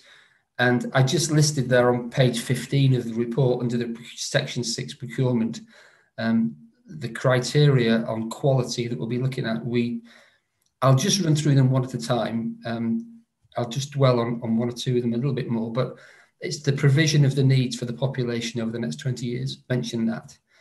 The assessment of options for um, the two facilities, I've dealt with that already. The future provision of Stratford Park, as I've mentioned. The assessment of the current contract, which I've mentioned. Um, Importantly, recognition of recent previous research. Last year, a piece of work was carried out in association with the local plan, um, the open space and green infrastructure sport and recreation study. That is a, has a wealth of detailed, well-researched information about need um, around sport and leisure. And we would expect our consultants to be using that and building on it, on building on the findings and the recommendations of that piece of work. Um, what wasn't, I don't think, on everyone's radar like it was before when this committee discussed this issue last time was the impact of COVID, both in terms of public health. Once again, um, Councillor Lydon, I thought, mentioned inappropriately talked about the way that is influencing well-being in our, our communities. But it also has an impact and will have an impact on the business model of our deliverers. And we are, um, you know, working currently with with SLM and with uh, at, at Stratford Park and with Pulse, understanding the implications of, of COVID on their business model. So we need to reflect that in this work. Um, we need to make sure that the quality of consultation is thorough and our communities and all our communities are properly involved in this piece of work and how the consultants propose to do that will be an important assessment criteria. Um, we want to mention, um, we want an holistic approach what I we mean by that is that we want to look at opportunities to work across sectors and particularly with I think public health partners about how we deliver in the future for those reasons that I've previously mentioned. Um, I think also it's important, and I'll just mention a little bit on this, is that we want to properly understand and reflect issues around equality of access and opportunity as we move forward. Um, now that can express itself in all sorts of ways as I've mentioned, there's a particular reference in the tender document that we want and are expecting consultants to bring a contemporary and proper understanding of access and opportunity. Um, recognizing, yes, people with protected characteristics that may be disadvantaged in, disadvantaged in, us, in accessing opportunity. Um, and some of the restrictions to, to, to opportunity are can be can be subliminal, can be deeply um, uh, uh, ingrained in, in, in lifestyles or in residents or in, in quite subliminal um, uh, opportunities for, for disadvantages to come in. And we need to dig deep with that and make sure that we are with this piece of work being, and being thorough, looking at, at issues that may affect people's participation in sport, recreation, well-being, healthy lifestyles, it's a it's a key um, element because we're talking about people's lives. We're talking about the the, the, the way that they are able to contribute to their own communities. Um, and for it to be for it to be skimped over or added on um, as an add-on or to tick a box is completely inappropriate. And we would expect consultants when they're coming back to us to tell us that they're going to be the people we should employ to do this work, that they have a proper understanding of dealing with equality of access uh, and opportunity.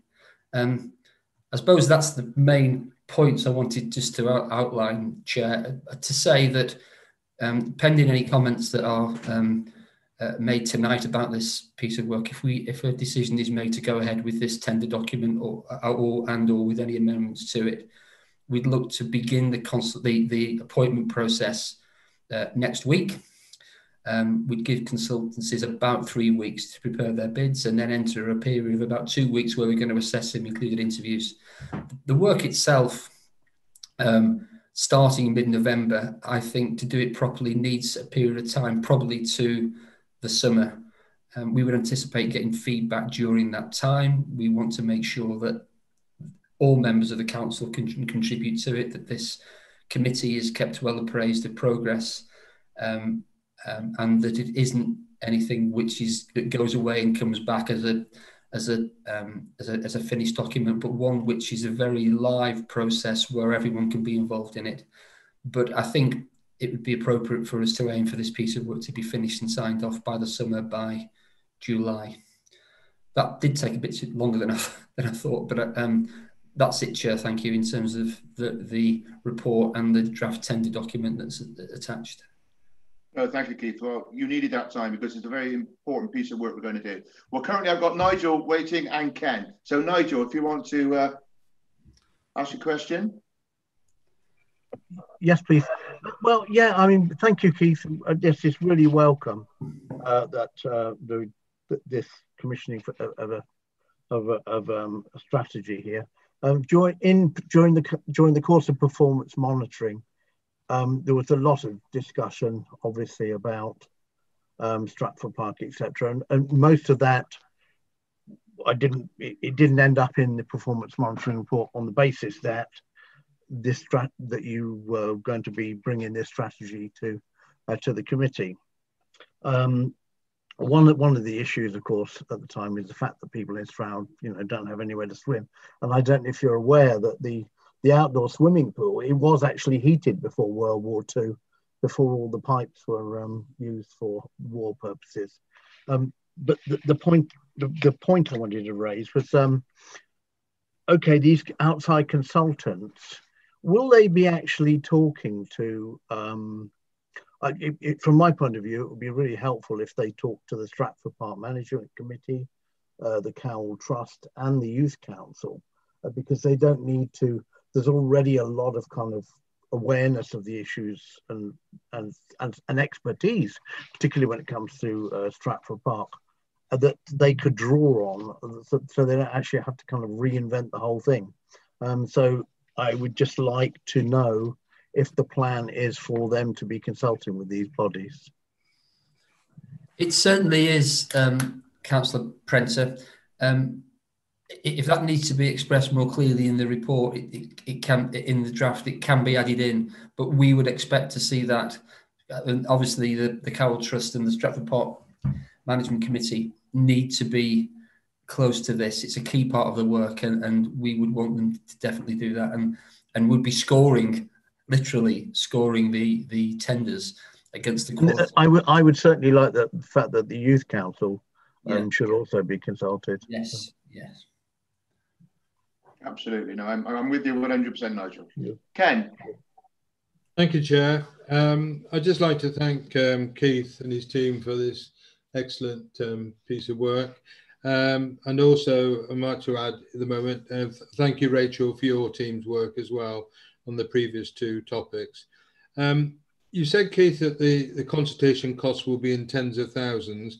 Can you give us some idea what the upper limit might be? Yeah, the the the, the, the upper limit that we propose setting in this is fifty thousand pounds. Um, and the document will say, and the draft does say, and I, I, can't give you a reference, the draft does say that we would not be expecting tenders in excess of £50,000 Okay. Um, that is based on some soft market testing um, uh, about what what a piece of work of this complexity is is likely to. But we would expect and the reason that we've said that, I took advice from um, our colleagues in the procurement team. Um, we would we're not specifying a, a, price because we would expect bids to be below that and for there to be a competitive element. And 40% of the 40% of the summary here is going to be value for money. Thank you, Keith. Uh, yes, I apologise. I've just found it on page 66. Well, thank you. Someone has just um, alerted me to that as well. So, yeah. um, uh, uh, despite having read through this twice, once as you know, but I read through it once this afternoon as well.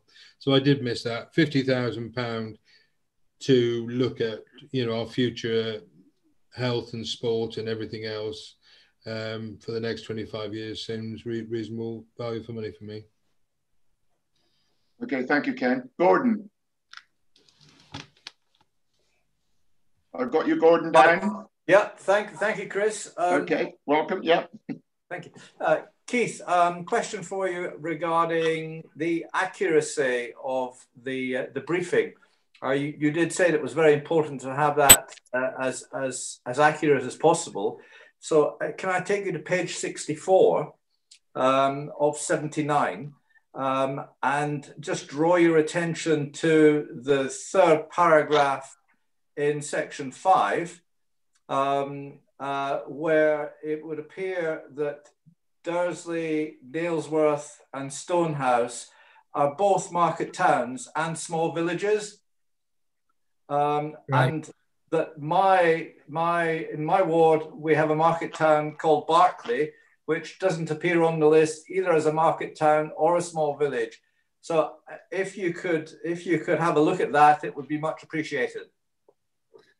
Uh, yeah, certainly my uh, that my error and responsibility for that. I will go back and, and look at that um, carefully. Yeah. Also, also, Keith, I've had uh, a ward member for Cainscross on to me as well Boyle Cainscross is omitted from this as well. So we need to look at that as well. Yeah, I, paragraph. Um, that it is important, and and I think uh, it needs to be right. So my apologies for that. Yeah, so if we get them sorted, thank you for that, Gordon. Jim. Thanks, Keith. Yeah, thanks, thanks, Chris. Thanks, Chair. Um, yeah, thank thank you, Keith, for that um, overview. Um, I also would endorse that it's um, it's a good it's a good uh, good good start, good overview of what you want to do, and I'm very pleased with the, the work you're doing. Um, I would just like to ask: um, this strategy is covering 20, 20 years, and you're aware that you know, as a council, we passed the emergency uh, resolution for, uh, you know, the, the, climate change and carbon neutral by 2030. Um, I, I, just wondered how how will that be reflected? Uh, you know, becoming a carbon neutral leisure centre, if you like. I just wondered how would that be reflected in the review? Would that be something that you would be looking? You know, would there be expertise with consultants, etc., on um, you know being able to get a, a low carbon um, leisure centre, etc. Is that something that you've you've you probably have considered? But if you could explain that, I'd appreciate it. Yeah, I mean, we we have considered that, and there's a, a reference, I guess, to um, um, recent research in it, but maybe more explicitly referencing the importance of of of, of alignment with the carbon neutral commitment of this of this authority would be appropriate when we're looking at um, redesign and current fit for purpose issues such as energy efficiency. Um, so yeah, I think worthy of, of, perhaps bringing more clearly out in this document, Councillor. Okay, okay, yeah, lovely. That that would be great if you could do that. I'd um, I'd certainly appreciate it. Thank you. Ken, do you want to come back? Yeah, just a quickie, please, Chair. Uh, Keith, um, there are other villages missing off here, like Kingswood and North Nibley. Kingswood being substantially bigger than some in the list. So, if you want to chat tomorrow, I'm quite happy to um, talk to you about that. The other thing is on um, on page 64, down below where Jim was talking about, it says there are 10 electoral divisions in South District and Stroud District it might be worthwhile putting in there there are 10 county council electoral divisions just, just to avoid any confusion.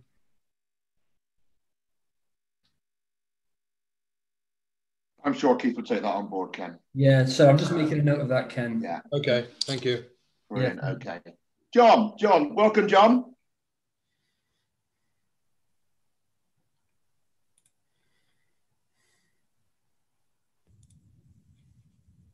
John, are you indicating you would like to speak? Sorry, yeah, I, I forgot to unmute myself. That's all right. I'm doing that all the time, John. Don't worry. yeah. I'm privileged. I can keep mine open all night long without having to shut it off. So I, I get away with it tonight. um, yeah, thank you, Keith. Just to go back to what uh, Nigel was saying about uh, people being consulted, will ordinary members be part of the consultation as well? Um, I'm thinking in particular of those of us that represent districts, wards that are out in the sticks, if you like. Um, because getting to a leisure centre, either in Stroud or Dursley from west of the A38, is nigh on impossible unless you use a motor car. So, um, and to go back to the carbon neutrality in future years, uh, public transport would be uh, well worth exploring. So if members could be consulted as well, I think that would go a long way towards getting the proper picture. Okay. Um, I, I suppose there's a, there's a, um, a long and a short answer to that. And, and first of all, I think every member in the council should have the have access and be and be have the opportunity to contribute to this because I'm sure there's a, a range of issues that we need to make sure we don't miss. Um, I think that you also mentioned the issue of um, of rural communities, and that is why we need to say, you know, how do we work effectively with our community and voluntary sectors? What role and how do we use the leverage and influence that we have as a district council to support small communities and village halls to, to support their communities, often in You know, that could be anything. That can be line dancing in a in a village hall. It can be actually sometimes things that that are to do with community well-being and psychological support. But what is really interesting now uh, is that we've seen the way communities pull together and have done in a response to, to COVID. We need to be getting right into that and looking at the way communities can be part of and supported to be part of of, of delivering. It, it, it would it would be too expensive, impossible to deliver, and not as good if everything was delivered directly um, by a, a, central authority. It, I think much more effective if there's an understanding of local community needs and can also use the power of volunteering as part of that. So we'd want to do that. And the way into that is the is is is, is often through elected members, and we want to make sure that you all have an opportunity to access that this piece of work. And we would expect, we would be expecting the consultants who come back and say that they're the people we should choose to understand that and be explaining to us how they intend to do it and what proportion of the time they expect they expect to spend. If, you'll see the scoring mechanism here in terms of the criteria, you know, and we have um, as one of our one of our criteria the quality of consultation with communities, partners, and service providers. We would expect to see the consultants explaining what they're going to do and what effort they're going to, to put into properly consulting with communities. Um, and that includes, of course, um, working at a local level with uh, all elected members. Okay, thank, thank right, John, happy with that? Yeah, okay. But if I can just make a point, um, there is line dancing in Whitminster Village Hall, of course, once a week now. So uh, don't there we are. We won't overlook them then. okay. Jonathan.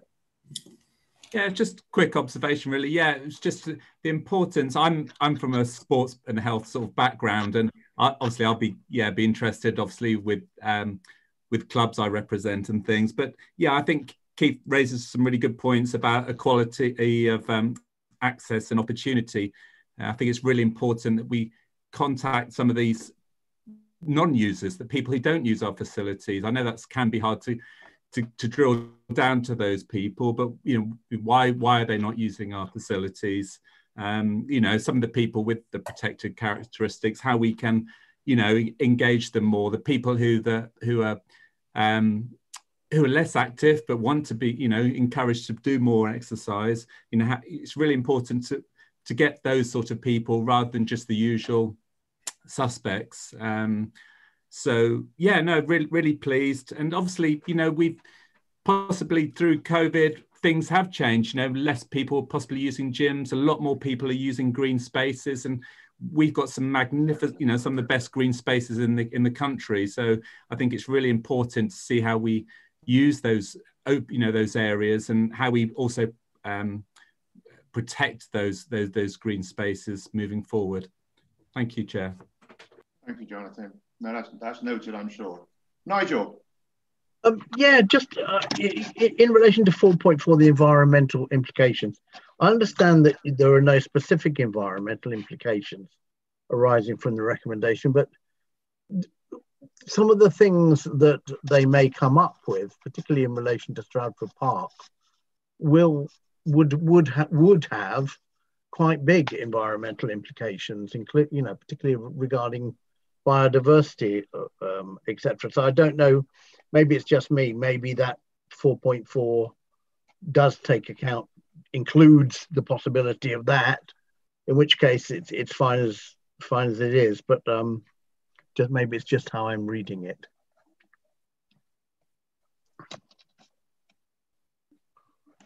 Keith, I'm sure I'm sure it is, is part of the assessment. It will be, but uh, can you answer that for Nigel for me?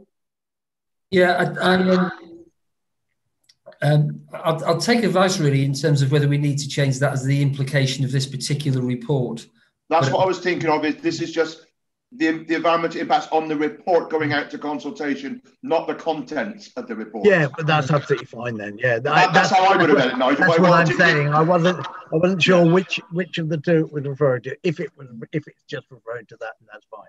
That's how I would read it, Nigel. But I wanted Keith to. to yeah, to that's how that. I read it as well. But I also read it another way. Yeah, that's absolutely fine. Clarification on which way I should be reading it. Yeah, but it will certainly be included in the final document. I can guarantee it. Brilliant. Keith? Thank you. Uh, just uh, that issue of environmental implications. uh, I'm you know referring to a previous question from uh, Councillor Dewey. that I think not necessarily 4.4 of the report, but within the tender document, a reference more clearly to, to environment is is probably worthy of of, of, of re- for the avoidance of doubt. Absolutely. No, I would expect that big time in there, bearing in mind the uh, our program. Okay, Jim. You there, Jim? I am, I am, Chris. Thank you, thank you very much. Just, just a, a quick. It was just a thought um, uh, prompted by by everyone's discussion, which I found really interesting today, and as well as Keith's uh, overview. Um, it was just thinking about, our, you know, a little bit outside the box. We've got a cycling and walking strategy in the district, and um, it's when John mentioned about, you know, how we could get people to to uh, attend our leisure centres or, or you know, or village halls or whatever. Um, I, I, used to be a member of the Pulse at one point, and um, you know, as part of that, I did actually try and cycle to to the Pulse if it wasn't raining, maybe. um, and I have, I, you know, I, got a sec, I've got a second-hand electric bike, so that makes it a lot easier actually.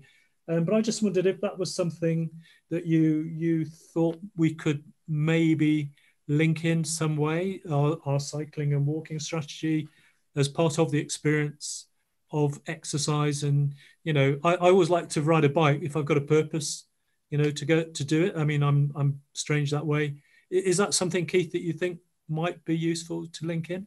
Yeah i think i think i think it is important that we i mean yeah it is important that that's that that's referenced uh, the people cycle for all sorts of reasons and there's there's i think we, we do mention governing bodies in here one of the governing bodies that's probably made the biggest impact in participation over the last 10 years is British cycling. Um, you know, more people are cycling now than ever. And one of the drivers behind that were, were the initiatives that have been that have been um, brought forward over the last 10 years through British cycling, through through not just through a sort of osmosis, but through a specific um, strategies for increasing participation. And it's made a big difference. People see cycling very different now than they did. And we would expect that to be reflected in, in, the, in the study. And we would expect our consultants to be picking that up when we select them. Okay, Chris, can I can just just yeah, of course, can, yeah. Quickly? Yeah, I mean, I, I think um, I think the the advent of electric bikes has made a huge difference to to making this more viable. Uh, and I know Councillor Lydon's got one, and Councillor Pickering and, and and I've got one, and I'm sure others have. Um, so yeah, I think it would be something that maybe even five years ago wouldn't be quite so relevant, but now could be something could be an option if we could, you know, link it in with our you know cycle paths and cycleways, um, because we are working on one, for instance, the Cam Dursley Uley cycleway, which would go past um, pretty much the the pulse, for instance. So that would be something I, I'd be interested to see if you could spare some time on that. Thank you. Okay. Thank you, Jim. Steve, Steve Robinson. Are you there, Steve? Th thank you, Chair. Um, thank you, Keith, for your explanation. Um, just on the, first of all, I think we've realised, particularly during COVID, that uh, the the biggest is not always the best, um, and you know just how how how how well the corner shop is done. So I think we do need to look after what John said and what lots of people have said. Uh, and I know that you know if we talk to all our market towns, they'd all like a swimming pool. It's the first thing they say. But you know, many of them don't realise just how much it costs and how much it costs to run and how many people you need to use it. But I do think that we should be looking at all our market towns, as you said, really, Keith, at the provision, and I'm really keen that that, that happens.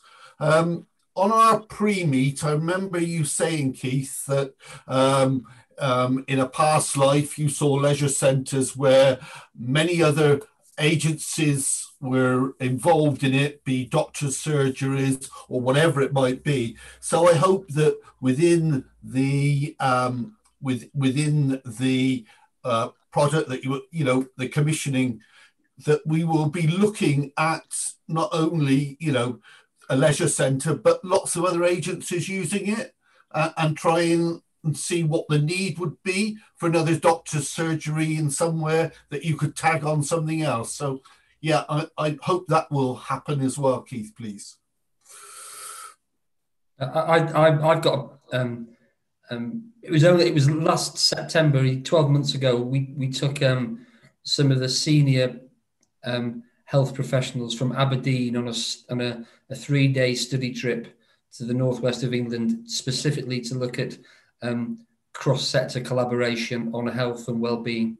Um, and if nothing else, I would like the consultants to be bringing some of those ideas um, forward for consideration in this piece of work.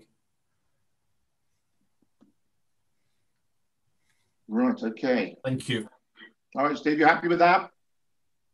Excellent, okay. So Gordon Craig, Gordon, do you want to come back? Thanks, Chris. Yeah, just one thing. Uh, my, I, am just fired to, to, think about this. Um, I, clearly, we're talking about uh, the uh, the work that can be done uh, to to add in in a sort of traditional way uh, to to leisure to just check that it's it's uh, it's sufficient for our needs as well. Um, but actually, I think we it was mentioned that we have a lot of green spaces in the uh, in the district, and uh, I, I, just want to check that um, the major green spaces are going to be looked at very closely in terms of how they can be um, upgraded and highlighted um, to, to just uh, have extra use. I'm thinking particularly about the Severn Way um, which is an, an amazing uh, uh, walk uh, with amazing views uh, going right through our district in not in the Cotswolds, but in the other bit of a district that personally I think is even more beautiful. Um, and of course, yes. it, it, it, runs from the Severn Bridge all the way up to Gloucester, uh, right through our district from top to bottom.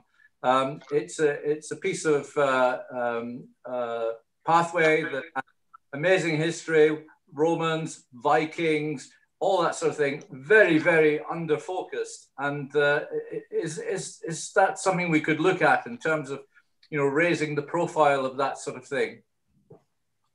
I suppose what I'd say to that is yes, at one level, yes, of course. Um, I, I, think what I do want to do with this piece of work is um, the open spaces is referenced and the, and the previous work on the open spaces assessment is we would definitely want to, to, to do that councillor craig. I think it's important just to, for, to remind ourselves that what this is doing is it's working on the appointment of the consultants. Um, and I, I really do want to make sure that we have a live discussion about shaping the once we have appointed the consultants as well um, it's not just how they respond to this we will want to make sure that that no no appropriate stone is left unturned in terms of this piece of work. Um, so that and that's a good example of, of we, we will want to make sure not just that the selection process, but when the work is in detail being mapped out by the consultants, that things like the um, the Severn Way and its contribution is is reflected in in the work that's done. Excellent, thank you, Keith. Uh, Brian. Thank you, Chair. Just uh, some quick points, uh, probably to add um, to what's been said.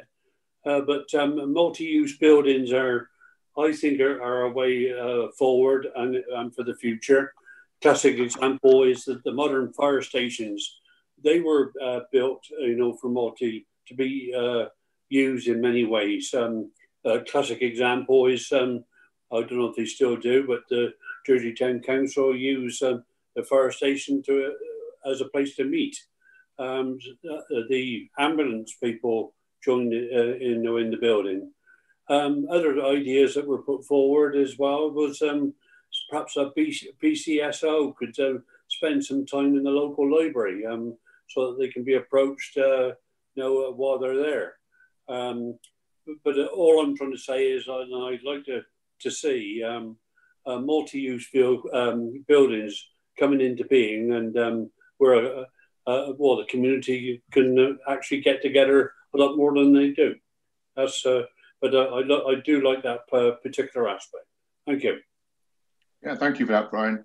Yeah, okay. I've got no no one else indicating to speak. Is there anybody else would like to anybody else like to contribute? Okay, well, firstly, Keith, thank you for the work you've done on this. It's a, it's a lot of work you've done. Um, I've been on this council best part of 20 plus years, and this is the biggest piece of work I've seen being undertaken under leisure in that period of time. You know, so it's a very important piece of work we're going to do, and we're looking at the future of health and well-being in leisure across our district for the next 20 years plus. So I think the challenge now is to get the right consultants um, to be able to communicate with that consultant to make sure it understands our needs and comes back with a plan which we can all agree. So I'm sure over the period of time, we will have a lot of input into this document at some stage or another, if not updates on regular, I would like to see updates for this committee and council at regular intervals anyway, to make sure it's on track, because it's a massive piece of work. And I know Keith's got the experience to help deliver that. So, so thank you for that, Keith. What we'll now do, if, if members are happy, is to um, tell you what we've got to what we got to vote on tonight, colleagues. The committee wants to resolve to approve the tender brief to commission industry experts to carry out a review, making recommendations and produce a draft strategy for leisure in the Stroud district. And B, to delegate authority to the Strategic Director of Communities in consultation with the Chair of Community Services and Licensing Committee to oversee the commissioning of suitably qualified expertise to undertake the works and report back to this committee on progress and bring the final draft strategy to this committee. And I think that's covering all bases there, colleagues. So can I have somebody who would propose that for me, please? Steve, you're proposing it. Thank you for that. Is there a seconder? Seconder, brilliant, in the room. Nigel? Whoever. Okay. Colleagues, I think we've had a good discussion on this. So what I'm now going to do is ask Jenna now to take it to the vote. Jenna? Councillor Brine. Four. Four. Councillor Craig. Four. Four. Councillor Dewey. Four. Four. Councillor Edmunds. Four. Four. Councillor Jones. Four. Four. Councillor Oxley. Four. Four. Councillor Prenter. Four. Four. Councillor Robinson. Four. Four. Councillor Tipper. Councillor Tipper. Four, sorry, Chair. That's all right. Thanks, Councillor Tipper. Councillor Tucker. Four. Four. So that's unanimous, Chair. Excellent. Okay, thank you for that, colleagues. Okay, we'll move on to item nine now, appointment to outside bodies. Have you all got the report before you of all the nominees we have for committees or outside bodies? We are one short. We would desperately like somebody to sit on Citizens Advice Bureau. Is there anybody in committee that would like to take that position? It's one of the bigger ones we've got because we give them quite a lot of money. So it'd be quite useful to have a representative on there. If I can't twist anybody's hands, and I've got, Jenna's just sent me no hands, so that means no hands are gone out. What I'll do with your permission is I'll ask the group leaders to ask if they have anybody outside of our committee if they would like to take that position. If not, there is a fallback position. Steve, do you want to contribute? me just say, Chair, if there, nobody does really want to do it, um, I will give it a go and Wonderful. see. Okay. Excellent, Steve. I That's very, what- very kind of you. Sorry, I don't know what the commitment is, how how how often the meetings are. I know Gordon was doing it, and he's now a trustee. But um, yeah, I'll give it a go. Thank you, Steve. That's very kind of you. All right. Is all members happy for Steve to be our representative? Excellent. Okay. Um, the other one was the Stroud Fringe Festival, which haven't met at all in two years. So I think we're going to do a review of all our outside bodies and our charities. So my recommendation is we leave it until that point in time to see what we're going to do in the future. Is everybody happy with that? I'm getting some nods around the room. Okay. I'm mindful of the time, guys. Shall we move on to item 10, which is now uh, Jim? Sorry, Jim. Oh, you yeah, want to say sorry, anything on outside bodies? Yeah, sorry, sorry, Chair. Um, I've just spotted that um, for the count for the health and wellbeing partnership, Yeah. um, the substitute is Councillor Norman Kay, Right. uh, who I think was on this committee. I mean, I'm happy to be to to to, to take on that substitute role Okay. if that was appropriate, because I think Um, Norman and I swapped on the environment anyway. So Right. Is Is that that okay? you know, is it like something you want to talk to to um? Could you could you possibly just ask Norman if he if he's happy with that, Yeah, Jim? we'll- we'll because yeah, that would be lovely if you could. If Norman's still happy to do it, fine. But if not, you take on that position. I'd be grateful. okay, Thank you very much. no problem. Thank you. Okay. Members' reports. Um, we've had A, so B. Then that's museum in the park. Nigel, do you want to um, talk to your your document? You, you, you presented a very well presented document, I may add. Um, it will only if people have questions they wish to ask about it. Okay. Any questions for Nigel on museum in the park? No questions. Thank you very much for that, Nigel. Welcome. Um, police crime, police and crime panel. I was your representative because of my position as chair, but unfortunately I couldn't get onto the meeting until about an hour and a half into it due to technical issues. But very kindly, Steve Robinson was there, and Steve's quite happy to give us a very quick update. If you would, Steve, I'd be grateful. Yeah. Okay, Chair. Yeah, I was there on, with my county council hat on. Um, yeah, happy to do that. Uh, much of it has been said by Chris already, but um, I mean, when he said about the problems regarding suspects waiting for court hearings, that is a concern. You may have seen in the press that uh, Martin Surl offered the uh, Cirencester Magistrates Court because, as members may know, uh, the police, um, the PCC bought the court in Cirencester and in Stroud, so they own, own the whole sites. Um, and uh, that has been taken up, I see in the press, so that Cirencester Court is opening back up from mothball, and um, so that should move th- through quicker. Um, the uh, remodeling, Chris didn't say about remodeling police operations. Um, there is a, a, a new superintendent has been appointed for two districts, with ourselves being Cotswold and Stroud, um, and then we'll still be an inspector for each area. Uh, many of you know that there are neighbourhood policing and there's fast response or whatever. Fast response officers now are also doing follow up work, um, following up incidents. Um, and I did ask at the last meeting of the police and crime panel whether that would mean that there wouldn't be such a quick response because if response officers are in somebody's house but I was assured that it wouldn't. So that will be to see uh, whether that happens or not. Um, I'm just looking down my because I don't want to really reiterate what was said. Uh, yeah, um, I think it's been mentioned previously at these meetings the amount of time that police officers are having to spend um, on mental health issues. Um, that is still a real problem that the amount of non-crime demand that the police are having to deal with is tremendous. And it outweighs really what the what they're actually set up to do.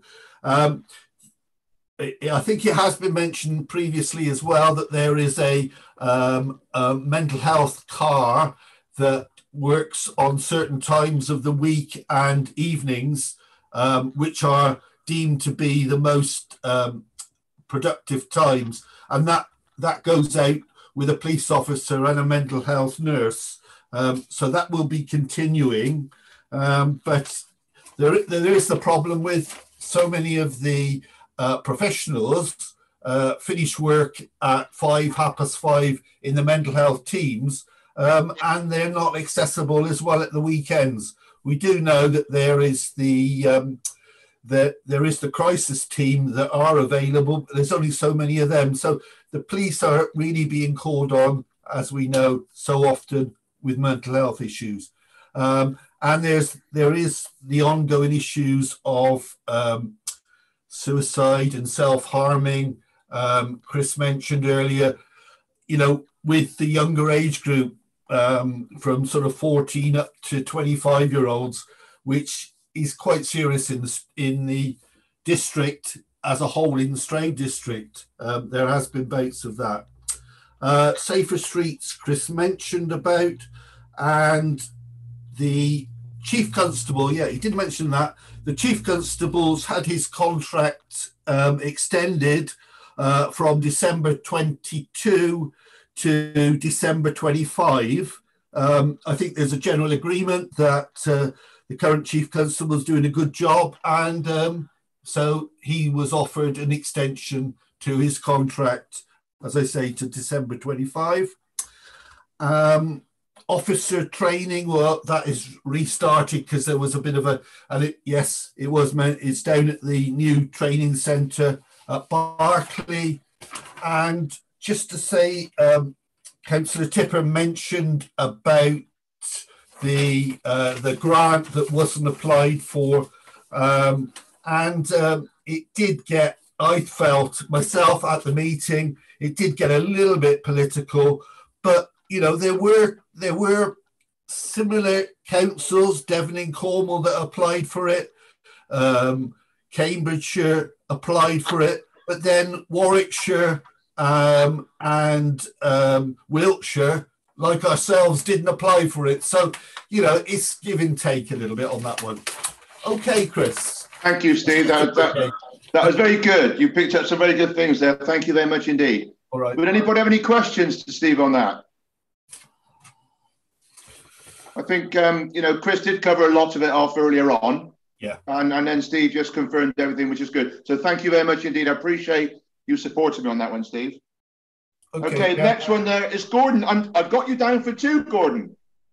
I've got you down for the um, for the for the LEP business group and also for Citizens Advice.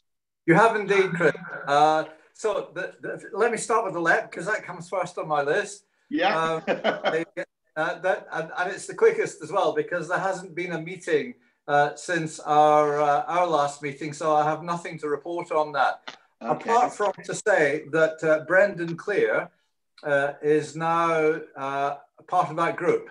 Um, oh right, and, okay, yeah. And so and so Brendan will be able to give a perspective on it as well.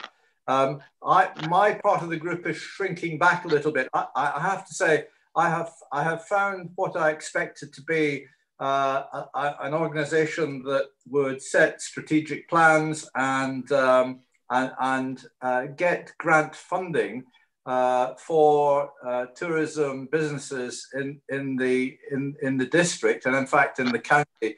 Um, I, I found that they that's not what they're doing. It, it's very much a talking shop. So I I'm taking a, a, a, step back from it to some extent. So I may not be at all the meetings, um, but I think Brendan will be. And so together, I think we can probably um, we can probably report on that going forward.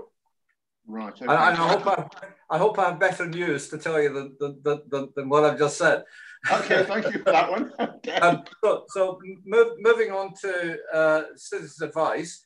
Um, you, are right. Uh, I went along to Citizens Advice, and uh, and after a little while, I was so impressed by what they were doing uh, that I uh, I uh, agreed to become a trustee. Uh, which is why we're now looking for yeah. another representative, and it's great that Steve's coming along. I think he will get a great insight and be a great, um, you know, a, be a great support to to the trustees.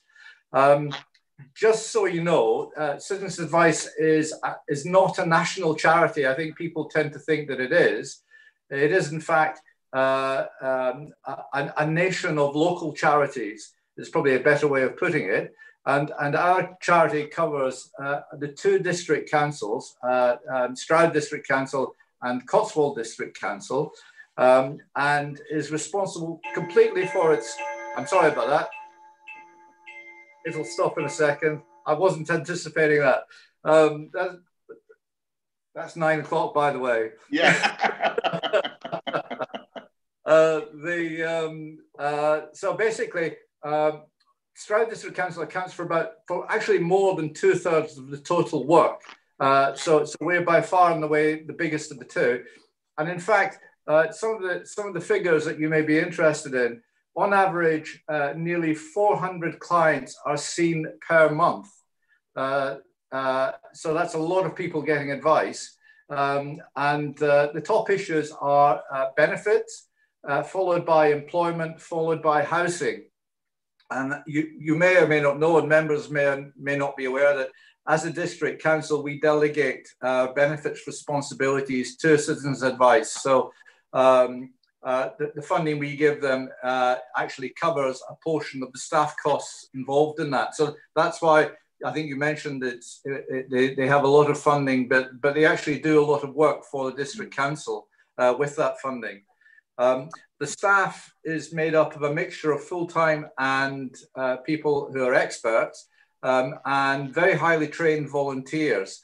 Uh, so if any of the uh, if any of the councillors want to, to add to that list in terms of volunteering, I'm sure uh, that you would all find that what they do is really quite amazing, um, as, as, I certainly did. Um, so right now, recruitment is underway for uh, two additional paid advisors, um, and they are uh, they are to support two food banks. And you might think, well, that's a bit strange. I thought citizens' advice uh, was something totally different to the food banks. Um, but what happens is when clients, as, as they're called in citizens' advice, uh, go along to a food bank, um, there's always an underlying reason or a number of underlying reasons as to why they're at the food bank.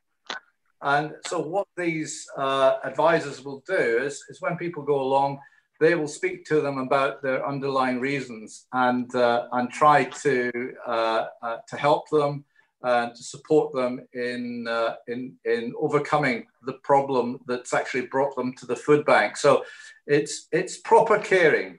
It's, it, it's, it's, about, it's about a big solution uh, and, and not just about supplying food for the short term. So that's what that's what that's about. And as I say, uh, there are uh, two, um, they're recruiting right now for two people to do just that.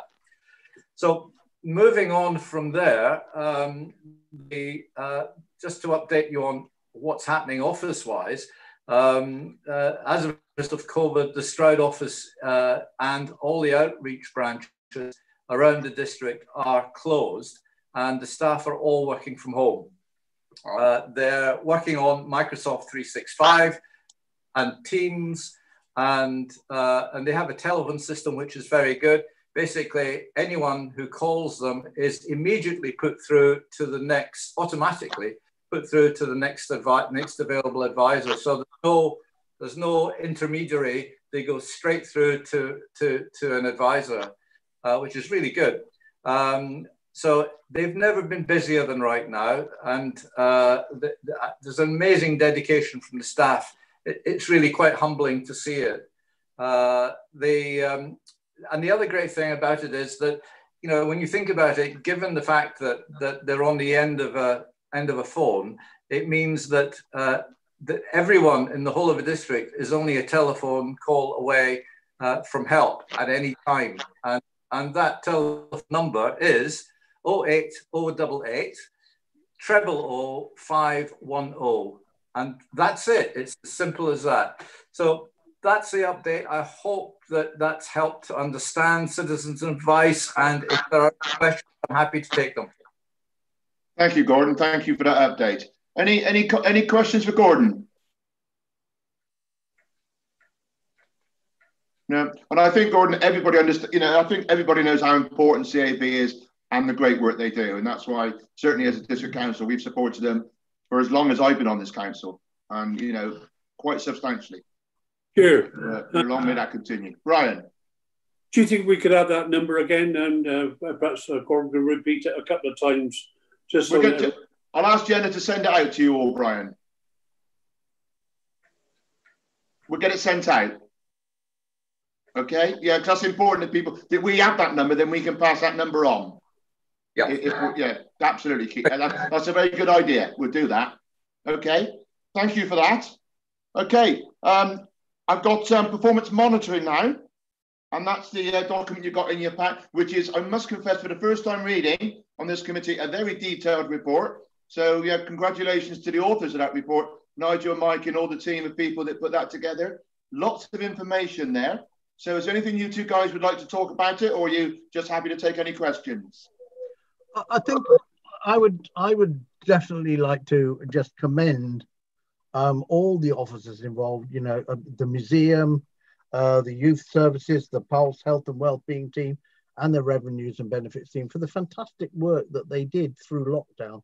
I just actually tried to draw attention to some highlights of all that. I please mean, do, Nigel. Yes, please. The museum was um, had really good online engagement. They put on all sorts of things for people.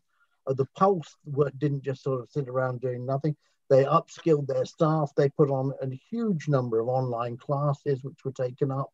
And they've now, since then, gone back to actually having a, thousand children back on the swimming program, which is quite amazing.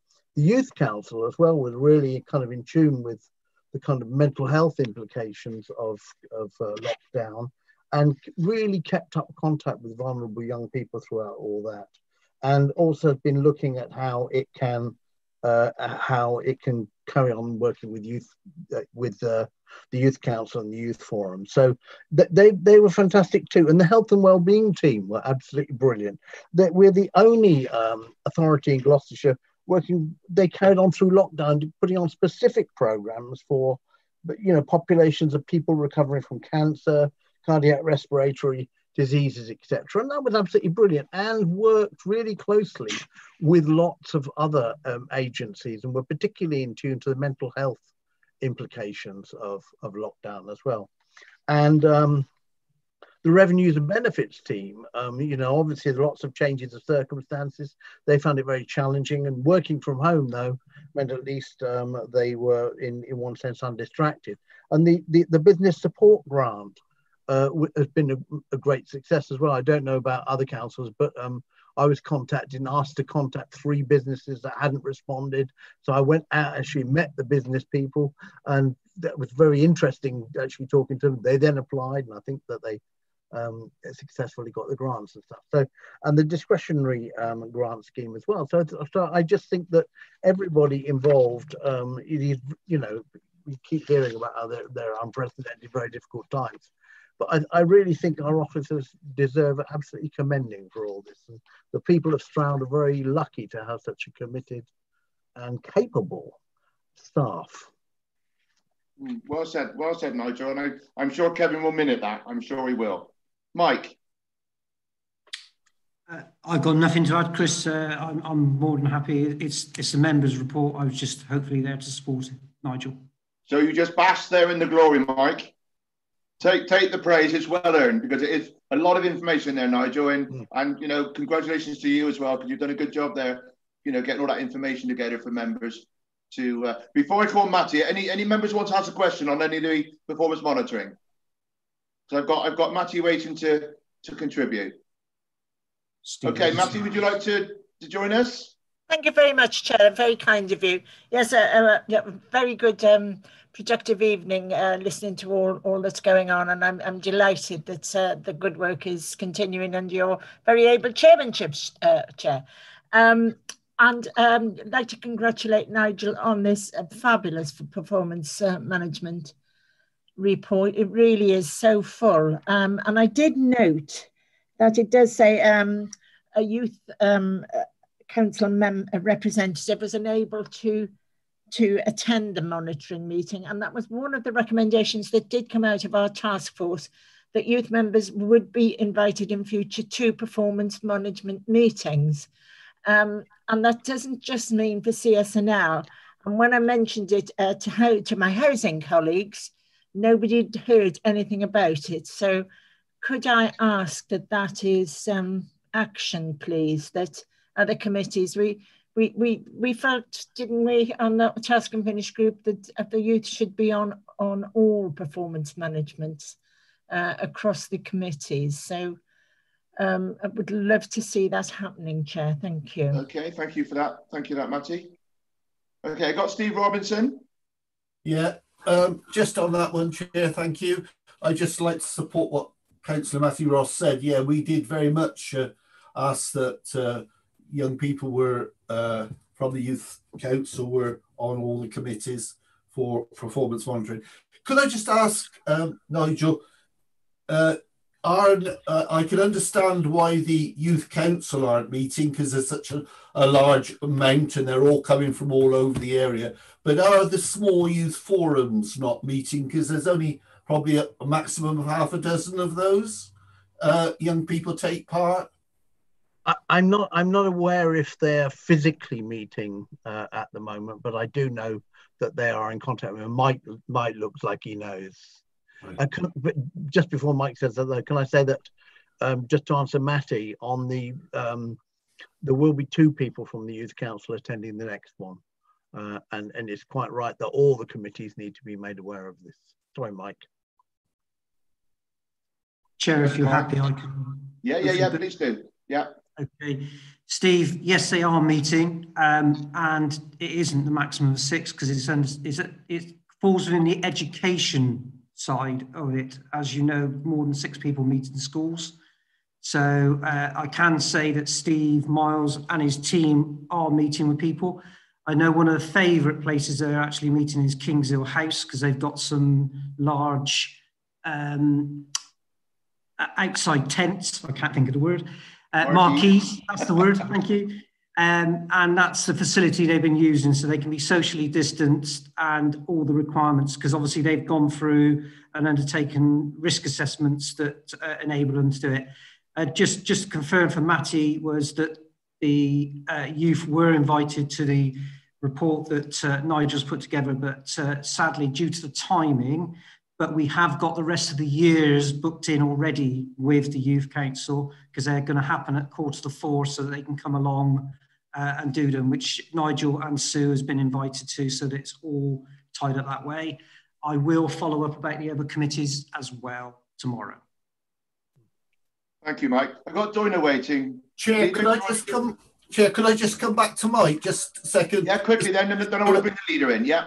Yeah, just to offer that um, uh, Nailsworth Youth Centre has been open since the 1st of September. So if they want, if the local youth forum want to use that, it has got all the policies in place and they've all actually been checked by Stroud District Council Environmental Health as well. So that building is available if they want to meet in Nailsworth. Okay, Mike.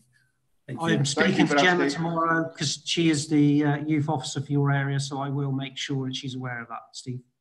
Good, thank, thank you, Mike. Mike. Thank you, Chair. Okay, over to you, Doina. Actually, thank you very much, Chair. It's been a really interesting meeting. You seem to have covered a vast range of things. Actually, Mike got there before me. I actually went on a little visit to Kingshill House today to see how they've been getting on, and they actually opened quite early on in after the end of the restrictions, and, and have got classes and all sorts of things going. On. Art exhibitions, one of the first to have any. But the um, the marquee there um, is brilliant out in the garden, and, and it's fantastic that the, I didn't wasn't aware that the youth council are using it, so I literally just saw it today. So it's really nice that they've been able to use. Um, use that. As you mm-hmm. know, we're in negotiations about handing the mansion over to the trust soon. So it's good to see that they're they're becoming much more integrated in some, some of the stuff that we're doing. Mm-hmm. Good, thank you, thank you for that. I, I half expected you to say that, though, because I know we talked about the other day about Kingshill House, which is a great facility. I can remember paying my, my, my rent there about 40 years ago. Going to be after we didn't have the rent man anymore, we had to go there and pay our rent. So uh, yeah, I remember Kingshill quite passionately when I lived in Dursley for a while. You okay, look that's old, Chair. But I, I, I, I age well, don't I, Ken? Yeah, it's called a camera. okay, if there's no more no more questions or observations on the on the performance monitoring, we'll go to the work program. If you want to have a look at that. The only thing I don't see there, I'm assuming Keith's gone now, Mike, has he? No, he's still there, Steve. Keith, the only Chris. thing I don't see on there is any opportunities feedback from the um, review. So we need to put that in at some stages. Obviously, by November, we'd have appointed, but they'd have only had a week or so. But I'd expect to see reports come into us as often as possible to keep committee up to date with what's going on. Well, it's going to be March, isn't it? So we just have to find ways of slotting that in. Any questions on the uh, performance report? Uh, sorry, on the work program? Everybody seem to be happy with it? Because it is your work program, colleagues. If anything you want us to, to look at or ask officers to look at, this is our opportunity. Okay, that's cool. No problem at all. Okay. I don't think there are any members' questions. No, none of those. So just before we finish, colleagues, thank you very much indeed for um, being uh, gentle with me on my first first meeting. Uh, I think formally we should thank Matty for the way she chaired the meeting for the last several years. She did a very, very good job and made it an easy ship for me to steer into the future. So if Kevin, if you can minister on behalf of the committee, I'm sure the committee will support me on that. Other than that, colleagues, I'd like to wish you all a good night. Take care. Bye now. Thanks, Chris. Thanks, Chris. Thanks,